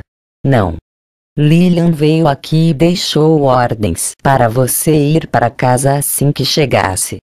Disse que, de hoje em diante, não preciso mais cuidar de você. O quê? Indignou-se Mariane. Isso é ridículo, observou Rose irritado. Não vou. Lamento, mas você tem que ir. Lilian agora é quem manda. Não quero. Ela não é minha mãe. Você é que é. Não posso fazer nada, retrucou Kat emocionada, esforçando-se para não chorar.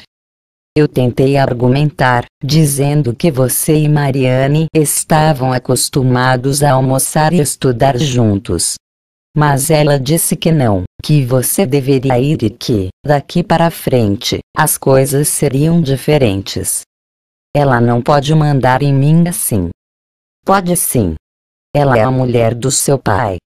Sua madrasta. Tem mais direitos sobre você do que nós.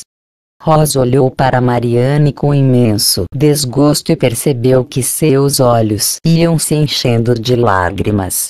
A menina agarrou-se a ele e começou a gritar. Não vou deixar, Ros. Não vou. Ela não pode levá-lo embora. Solte-o, Mariane. Ordenou a mãe. Não solto. Aquela bruxa. Vai ver só uma coisa. Não fale assim de sua nova tia. Ela não é minha tia. Não é nada minha. Nem de Ross também. É apenas uma bruxa velha, feia e horrorosa. Você não tem mesmo nenhuma educação, menina. Ouvindo essa voz estranha, todos se voltaram ao mesmo tempo.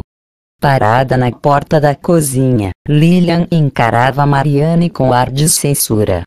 Como Ross demorava a aparecer, resolvera ir, ela mesma, cuidar daquele assunto. Mariane era uma péssima influência para o menino. Pelo que Nathan contara, era agressiva e mal educada, fato que agora constatava pessoalmente. Ross já estava de saída, disse Kate, sem graça, não é mesmo, Ross? Ele encarou a tia com ar de súplica, e Mariane respondeu com raiva. Não estava não. Ele não vai. 30. Ah. Vai sim, contestou Lilian. E não vai ser uma menina mal educada feito você quem irá impedir. Lilian adiantou-se e colocou a mão no braço de Ross, tentando puxá-lo para fora. O menino enrijeceu o corpo e fez uma cara de zanga, enquanto Mariane soltava gritos esganiçados. Solte o Ross, sua bruxa. Você não é a mãe dele. Minha mãe é que é. Fique quieta e não se meta. Respondeu Lilian, furiosa. Você não é boa companhia para Ross. Espere um momento. Intercedeu Kate, enfurecida. Sei que você tem ideias diferentes sobre como educar os filhos, mas isso não lhe dá o direito de vir aqui insultar a minha filha. Mariane é apenas uma criança que não tem um pingo de educação. É no que dá deixar os filhos largados por aí. Não vou permitir que você venha à minha casa me destratar ou à minha família. Aliás, não me lembro de havê-la convidado. Vim buscar o Ross. Ele tem que me obedecer. Katia estava furiosa. Fitou o menino com ar de autoridade e falou decidida. Vá com sua madrasta, Ross. Mas mãe, contestou Mariane. Deixe, cortou Katia. Depois teremos uma conversa com seu tio Nathan. Eu não quero ir, rebateu o menino. Ela não manda em mim. Mando sim, seu atrevido, repreendeu Lilian. Não aprenda a ser mal criado também. Vá, Ross, estou dizendo, insistiu Kate. Depois conversaremos. Vendo que não tinha saída, Ross obedeceu. Lilian tentou segurar-lhe a mão, mas ele a puxou bruscamente.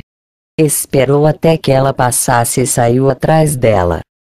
Até logo, falou ela secamente. Kat não respondeu. Segurou a filha, que chorava descontrolada, e estreitou-a contra o peito. Talvez aquele tenha sido um dos poucos gestos de carinho de Kate para com Mariane, e a menina, sentindo-lhe o afeto, agarrou-se a ela e desabafou confiante. Ah! Mãe, mãe! Rosa é tudo o que tenho. Sossegue, Mariane. Seu pai dará um jeito. Só muito tempo depois foi que Mariane se acalmou, embalada pelo amor da mãe. Todavia, recusou-se a comer, deixando Kate preocupada e cheia de raiva de Lilian e de sua incompreensão. 31 Capítulo 8 Quando David entrou na cozinha da casa do irmão, a família havia acabado de jantar. Boa noite, Nathan, Lilian. Ah. David, boa noite, respondeu o irmão. Entre, entre. Acabamos de jantar. Aceita uma xícara de café? Não, obrigado. Será que poderíamos conversar um instante? Nathan assentiu e levantou-se da mesa, indo com ele para a sala. David seguiu em silêncio e sentou-se no sofá, olhando sem saber por onde começar. Muito bem, falou Nathan. O que foi que houve? David pigarreou e olhou na direção da cozinha, onde Lilian tirava a mesa do jantar, atenta às vozes do marido e do cunhado. Bem, começou David, é sobre o Ross. O que tem ele? Fez alguma coisa errada. Não se trata disso. Ross sempre foi um menino muito educado. E você sabe quanto ele é amigo de Mariane. Sei, Quando sua mulher morreu e você veio para cá, Rosa era pouco mais do que um bebê, e Kat cuidou dele como se fosse seu próprio filho. Mesmo depois que as crianças nasceram, Kat continuou se dedicando a ele. Eu sei. Ninguém é tão grato a Kat como eu. Ela foi uma verdadeira mãe para Rosa durante todos esses anos. Você sabe quanto as crianças se apegaram a ele principalmente Mariane. Eu sei. Eles são como irmãos. Pois é. Por isso é que não entendo por que agora você pretende afastá-los. Quem disse que quer afastá-los? Da forma como sua esposa agiu hoje, nem foi preciso dizer. O que tem Lilian a ver com isso? Ela não lhe contou. O que? A sua maneira, Lilian contara a Nathan sobre o episódio embaraçoso na casa de Kat. Fora apenas um leve desentendimento, ela dissera, nada com que devesse se preocupar. Pequenas divergências na educação do menino, de que ela agora pretendia, pessoalmente, cuidar. Caso não saiba, prosseguiu David, Lilian foi hoje à nossa casa buscar Ross na hora do almoço e não o deixou ficar. Ora, isso não é nada. Lilian está apenas assumindo seu papel de esposa e mãe. Não há mais motivos para que Ross continue dando trabalho a Kat. Não foi isso que pareceu, Lilian foi muito arrogante com Katy e Marianne, insinuando que ela não é companhia para Rose. Ela disse isso? Disse. Katy não deve ter entendido direito. Entendeu sim. Lilian chamou Marianne de mal educada. O que ela pensa? Que não damos educação à nossa filha, você tem que concordar que Mariane não é lá nenhum exemplo de boa educação, não é mesmo? David sentiu o rosto arder. Era a primeira vez que o irmão se referia à sobrinha daquela maneira. Até então, nunca dissera nada. Ao contrário, parecia até gostar da menina e nunca se importou com a amizade entre ela e Rose. Você sabe que Mariane é uma menina diferente, prosseguiu David, tentando conter a indignação. E sabe quanto a amizade de Rosa é importante para ela. Se os afastar, estará condenando Mariane. Condenando Mariane a quê? 32. Ela é nervosa e agressiva. Rosa é o único a quem ela escuta. O que poderá acontecer se Rosa desaparecer de repente? Acho que você está exagerando. Lilian foi apenas buscá-lo para almoçar em nossa casa, a refeição que ela própria preparou para ele. E não deixou que voltasse à tarde. Porque tinha que estudar. Porque não permitiu que ele estudasse lá em casa, como sempre fez. Você sabe que ele também ajuda Mariane com os deveres. Talvez esteja na hora de Mariane aprender a se virar sozinha. Ela é muito dependente de Ross, e isso não é bom para nenhum dos dois. Afinal, Ross também é apenas uma criança. Não deveria ficar com essa responsabilidade toda. Se você pensa assim, então não vejo mais motivo para continuarmos essa conversa. Ele foi se levantando para sair, mas Nathan ergueu-se e pôs-se diante dele, barrando-lhe a passagem. Ora, vamos, David. Não vamos brigar, não é mesmo? Somos irmãos. Não precisa ficar desse jeito. Olhe, não se preocupe. É claro que Ross não vai se afastar de Mariane. Eles apenas não se verão tanto. Ros vem da escola, almoça, faz seus deveres e depois, à tardinha, vai visitar vocês. Então, o que acha? David não respondeu. Empurrou o irmão para o lado e murmurou um boa noite, que ele retribuiu apenas com um aceno. Depois que ele se foi, Nathan foi até a cozinha, onde Lilian acabava de enxugar a louça do jantar. Sentou-se, serviu-se de uma xícara de café frio e ficou vendo a cuidar de seus afazeres. Onde está Ross? Indagou após alguns minutos. Já foi se deitar. Tão cedo. Isso não é mais hora de criança estar acordada. Francamente, Nathan, você acostumou muito mal esse menino. Ele deu um suspiro e coçou a testa. Ao final de alguns segundos, considerou: Será que é certo o que está fazendo? Como assim? Você sabe, o Ross, ele e Mariana estão acostumados um com o outro. Ela não é boa companhia para ele. Por que diz isso? Ela é só uma menina. Uma menina mal educada e arrogante. Aposto como exerce uma influência daninha sobre o Ross. Não sei não. Eles foram criados juntos. São muito apegados. Não sei se é certo separá-los assim. É para o bem de ambos, você vai ver. Daqui a pouco, Mariane já vai estar uma mocinha. O que pensa que os outros dirão, vendo o tempo todo agarrada à barra da calça do primo? David e Kat não gostaram. Eles também se acostumarão. Estão com ciúmes, é só. Gostaria de lhe pedir uma coisa. O que é? Não impeça Ros de ver Mariane.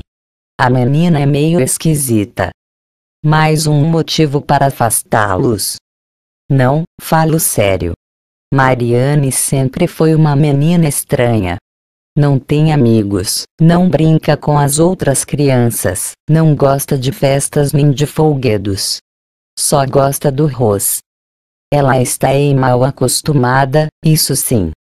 Gosta de Ross porque ele faz todas as suas vontades. De qualquer forma, não gostaria de separá-los. Não se esqueça de que devo muito a Kat, que foi uma verdadeira mãe para ele. Ele não precisa mais de Kat. 33. Mas eu não posso ser ingrato. Kat fez por ele muito mais do que qualquer madrasta faria. Lilian encarou com mágoa e, voltando as costas para ele, respondeu com dissimulado rancor. Já entendi tudo. Não sou páreo para Kat, não é? Ela é a mãe perfeita, a mulher ideal. Pena que já é casada com o seu irmão, ou vocês poderiam juntar as duas famílias. Jamais repita uma infâmia dessas. Aborreceu-se Nathan. Kátia é minha cunhada, merece todo o meu respeito. E eu sou sua mulher. Não mereço também o seu respeito. Não se trata disso. Você não confia em mim. É claro que confio. No entanto, não me dá autoridade sobre seu filho. Que confiança é essa? Não quero desautorizá-la nem impedi-la de dar ao menino o tratamento que julgar mais adequado. Só o que lhe peço é para ir com calma. Traga para casa após as aulas, faça-o almoçar e estudar aqui. Mas depois, deixe-o ir. Até a hora do jantar, pelo menos. Ela fitou novamente, respirou fundo e retrucou. Está bem. Farei como você quer porque o amo e quero evitar discussões. Mas fique sabendo que não concordo com isso. No dia seguinte, Rosa apareceu para buscar Mariane para irem à escola. Ela nem podia definir a alegria que sentiu. Passara todo o dia anterior mais triste do que o habitual, mais acabrunhada e arredia, com medo de haver perdido Ross para sempre. Mariane se despediu da mãe e desceu as escadas de mãos dadas com o primo, saindo com ele para a rua. Logo ao darem o primeiro passo na calçada, tiveram desagradável surpresa.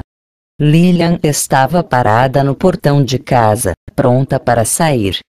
Bom dia, Mariane, cumprimentou ela secamente. Aonde você vai? Retrucou a menina, ignorando o cumprimento da outra. Vou acompanhá-los até a escola. Não precisa, Lilian, cortou Rose. Dona Lilian, corrigiu ela. Respeito é sempre bom, Rose. Não se esqueça disso. Mariane sentiu o sangue ferver. Se aquela bruxa pensava que iria mandar nela em Ross como se fosse sua mãe, estava muito enganada. Olhou-a com ar de desdém e foi tomando a dianteira, puxando Ross pela mão. Até que ouviu a voz de Lilian mais atrás. Mais devagar, crianças. Não é preciso correr tanto. Sem lhe dar atenção, Mariane apertou a mão de Ross e disparou pela calçada, puxando com toda a força. O menino, assustado, a princípio fez força para parar, mas depois, ouvindo os gritos histéricos de Lilian, achou graça e correu com ela. Em poucos segundos, sumiram no fim da rua. Ross deixou Mariane na porta da escola, e a menina subiu ofegante.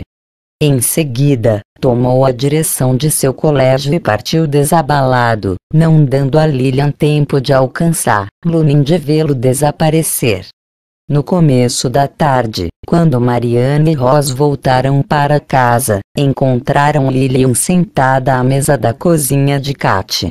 As crianças hesitaram ao vê-la, mas, ante o olhar severo e nada satisfeito de Kat, tiveram que entrar, muito bem, Mariane, começou a dizer. Lilian está aqui para fazer queixa de você. De Mariane? Indignou-se Ros. Por quê? Ela não fez nada. Não adianta tentar defendê-la, repreendeu Lilian. Sei que foi ela que o puxou hoje cedo. Estou aqui para exigir de Kat uma atitude. O que ela fez foi uma falta de respeito. Kat sentia ganas de estrangular aquela snob. Ela era metida e arrogante, mas Mariana havia afrontado, e ela não podia permitir que sua filha faltasse com respeito aos mais velhos. Não fora essa a educação que lhe dera. Por que fez isso? Perguntou Kat, dirigindo-se à filha. Com um sorriso maroto nos lábios, Mariane deu de ombros e não respondeu, irritando ainda mais Lilian, que retrucou furiosa. 34. Sua mãe lhe fez uma pergunta, menina. Responda. Por favor, Lilian, interrompeu Kat de má vontade. Deixe que eu mesma cuidarei disso. Essa menina é impossível. Lilian, cortou Rose. Dona Lilian, já falei. Dona Lilian, Mariane não fez nada. Fui eu que a puxei. Muito louvável essa sua atitude de defendê-la, tornou Lilian entre os dentes, mas não me convence. Eu vi. Ainda com ar de deboche, Mariane revidou. Você anda vendo demais. Você não, recriminou Lilian. A senhora, Katia estava abismada. Aquela mulher era insuportável. Não entendia o que dera no cunhado para casar-se com ela. Nathan sempre fora um homem simples e gentil, e não tinha nada a ver com aquela metida. Escute aqui, Dona Lilian, falou Kat com ironia, já estou farta das suas sugestões de como devo educar meus filhos. Se Mariane fez alguma coisa errada, deixe que eu mesma tratarei de castigá-la. Só estava tentando ajudar, respondeu Lilian, rubra de vergonha. Não preciso de sua ajuda. E agora, se não se importa, está na hora do almoço, e, virando-se para a filha. Mariane, suba e vá se lavar. Mariane obedeceu, quando voltou, Lilian e Ross já não estavam mais ali. Ela olhou em todos os cantos da cozinha, mas não o avistou. A mãe já estava sentada à mesa, onde apenas dois pratos haviam sido colocados, e começou a servi-la assim que ela entrou. Onde está o Ross? Foi com Lilian. De forma abrupta e inesperada, Mariane virou a toalha da mesa, jogando pratos e copos para longe. Assustada, Kat deu um salto e levou a mão ao coração, instintivamente olhando pela porta da sala, onde os outros filhos brincavam no tapete. Mariane, descontrolada, atirava longe tudo que via. Talheres, panelas, tigelas, olhar vidrado, parecia não ouvir os gritos aflitos da mãe. Pare com isso. Pare. Mariane, por Deus. A menina estava enlouquecida. Em sua fúria descontrolada, continuava a tirar longe tudo que lhe aparecia na frente. Katia cercou-se dela e, pelas costas, tentou contê-la, segurando-lhe os braços com força. Vencida pela superioridade física da mãe, ela começou a gritar e a espernear, atirando as pernas para frente e dando pinotes no ar. Katia estava apavorada. Jamais havia visto algo semelhante. A muito custo, conseguiu virar Mariane de frente para ele e deu-lhe uma bofetada no rosto. A menina respondeu com selvageria e pôs-se a arranhar os braços da mãe. Kate, cada vez mais aterrada, deu-lhe nova bofetada, e outra, e mais outra, até que Mariane, vencida pelo cansaço, desabou no chão e foi rastejando até a parede. Seus olhos corriam de um lado ao outro, como se visse alguém percorrendo a cozinha. Não havia ninguém. Ninguém que Kate pudesse ver. Mas Mariane via, caminhando a passos largos, um espírito ria, com as mãos apoiadas nas cadeiras. Era uma mulher. Vestia uma roupa estranha, muito antiga, e trazia na cabeça uma espécie de touquinha de lã. Ao ouvir a mãe dizer que Rosa havia partido com Lilian, Mariane quase desesperou. O ódio que sentiu foi tão grande que, imediatamente, atraiu para junto de seu espírito que acompanhava a madrasta de Ros. Era uma mulher vingativa, que queria desesperadamente prejudicar Lilian e descobrir em Mariane o instrumento perfeito. A menina era extremamente sensível. Muito mais do que qualquer outro que já vira fora dos hospícios. Aliada a essa sensibilidade, a raiva que nutria por Lilian serviu de excelente condutor para os fluidos de ódio e vingança do espírito. Mariane gostava de Ros. Por ele, seria capaz de odiar, com todas as forças, qualquer um que se interpusesse em seu caminho. E Lilian se interpusera. Ela era mesmo 35 autoritária e pedante, mas tudo poderia ter sido contornado se o espírito não tivesse incutido na mente da menina a imagem da bruxa em que Lilian havia se transformado. Mariana estava certa de que a mulher era mesmo uma bruxa. Via com cara de bruxa, roupas de bruxa, chapéu de bruxa, tudo obra daquele espírito que pretendia usar Mariana em sua vingança. Sou Margot, disse ela ao ouvido da menina. Guarde bem o meu rosto e o meu nome. Vamos nos ver muitas e muitas vezes. Soltou uma gargalhada histérica e sumiu, e Mariana encarou a mãe que, sentada na cadeira, rosto afundado entre as mãos, só fazia chorar. 36 Capítulo 9 A partir daí, tudo se desenvolveu rapidamente. Não havia um só lugar em que Mariane não visse espíritos ao seu redor. Falava com eles como se fossem encarnados, sem se dar conta de que já não pertenciam mais a esse mundo. Vivos e mortos, para ela eram todos iguais. Para piorar, a já difícil convivência com Lilian foi se tornando insuportável. A pedido de Nathan, Ross continuava indo e voltando da escola com Mariane, mas, depois disso, só se viam vez ou outra, antes do jantar. Nos fins de semana, Lilian sempre arranjava um jeito de impedir que ficassem juntos. Ou Ross tinha que estudar, ou iam sair e Mariane não podia acompanhá-los. Certo dia, quando Mariane chegou da escola, trazia nas mãos uma carta lacrada, com o timbre da escola, endereçada ao pai. Entregou a carta à mãe displicentemente e foi para o quarto se trocar.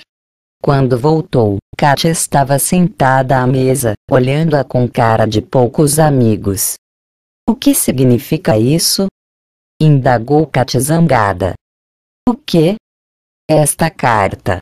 Mariane pegou e desdobrou a carta que ela lhe estendeu. Passou os olhos pelas letras e encarou a mãe, desanimada. Leia, foi a ordem seca. Os olhos de Mariane encheram-se de lágrimas, e Katia arrancou a carta das suas mãos com raiva. Você não pode ler, não é, Mariane? Não pode porque não sabe. Como fomos estúpidos, seu pai e eu. Pensamos que você havia se emendado.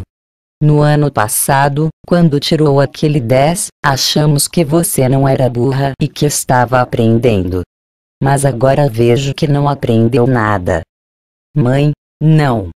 Deixe-me terminar. O que foi que aconteceu? Você não estava aprendendo a ler? Por que não desenvolveu a leitura? Por que não consegue acompanhar a turma? Seu professor diz que você continua alheia e agressiva. Disse que nem pode falar com você.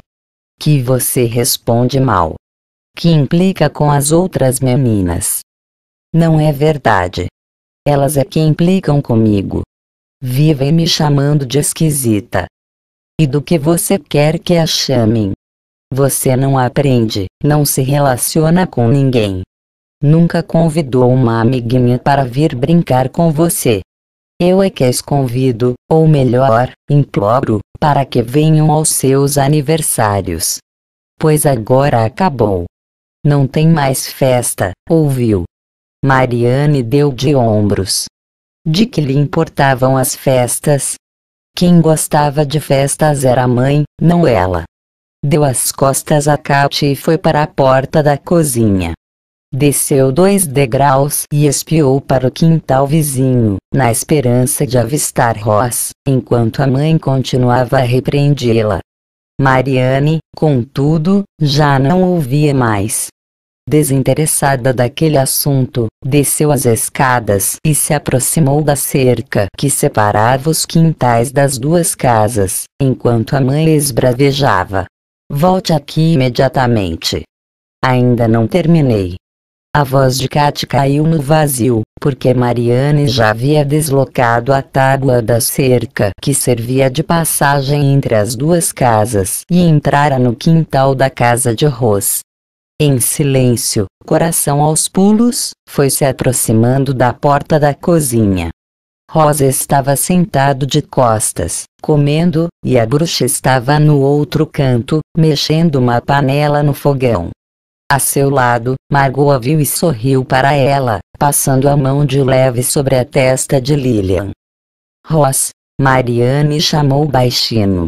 O menino se virou ao mesmo tempo em que a madrasta, Vendo Mariane ali prada, Lilian não se conteve. Com a colher de pau ainda na mão, aproximou-se dela. O que está fazendo aqui? Indagou com raiva. Ela fitou a mulher e respondeu com mal contida fúria.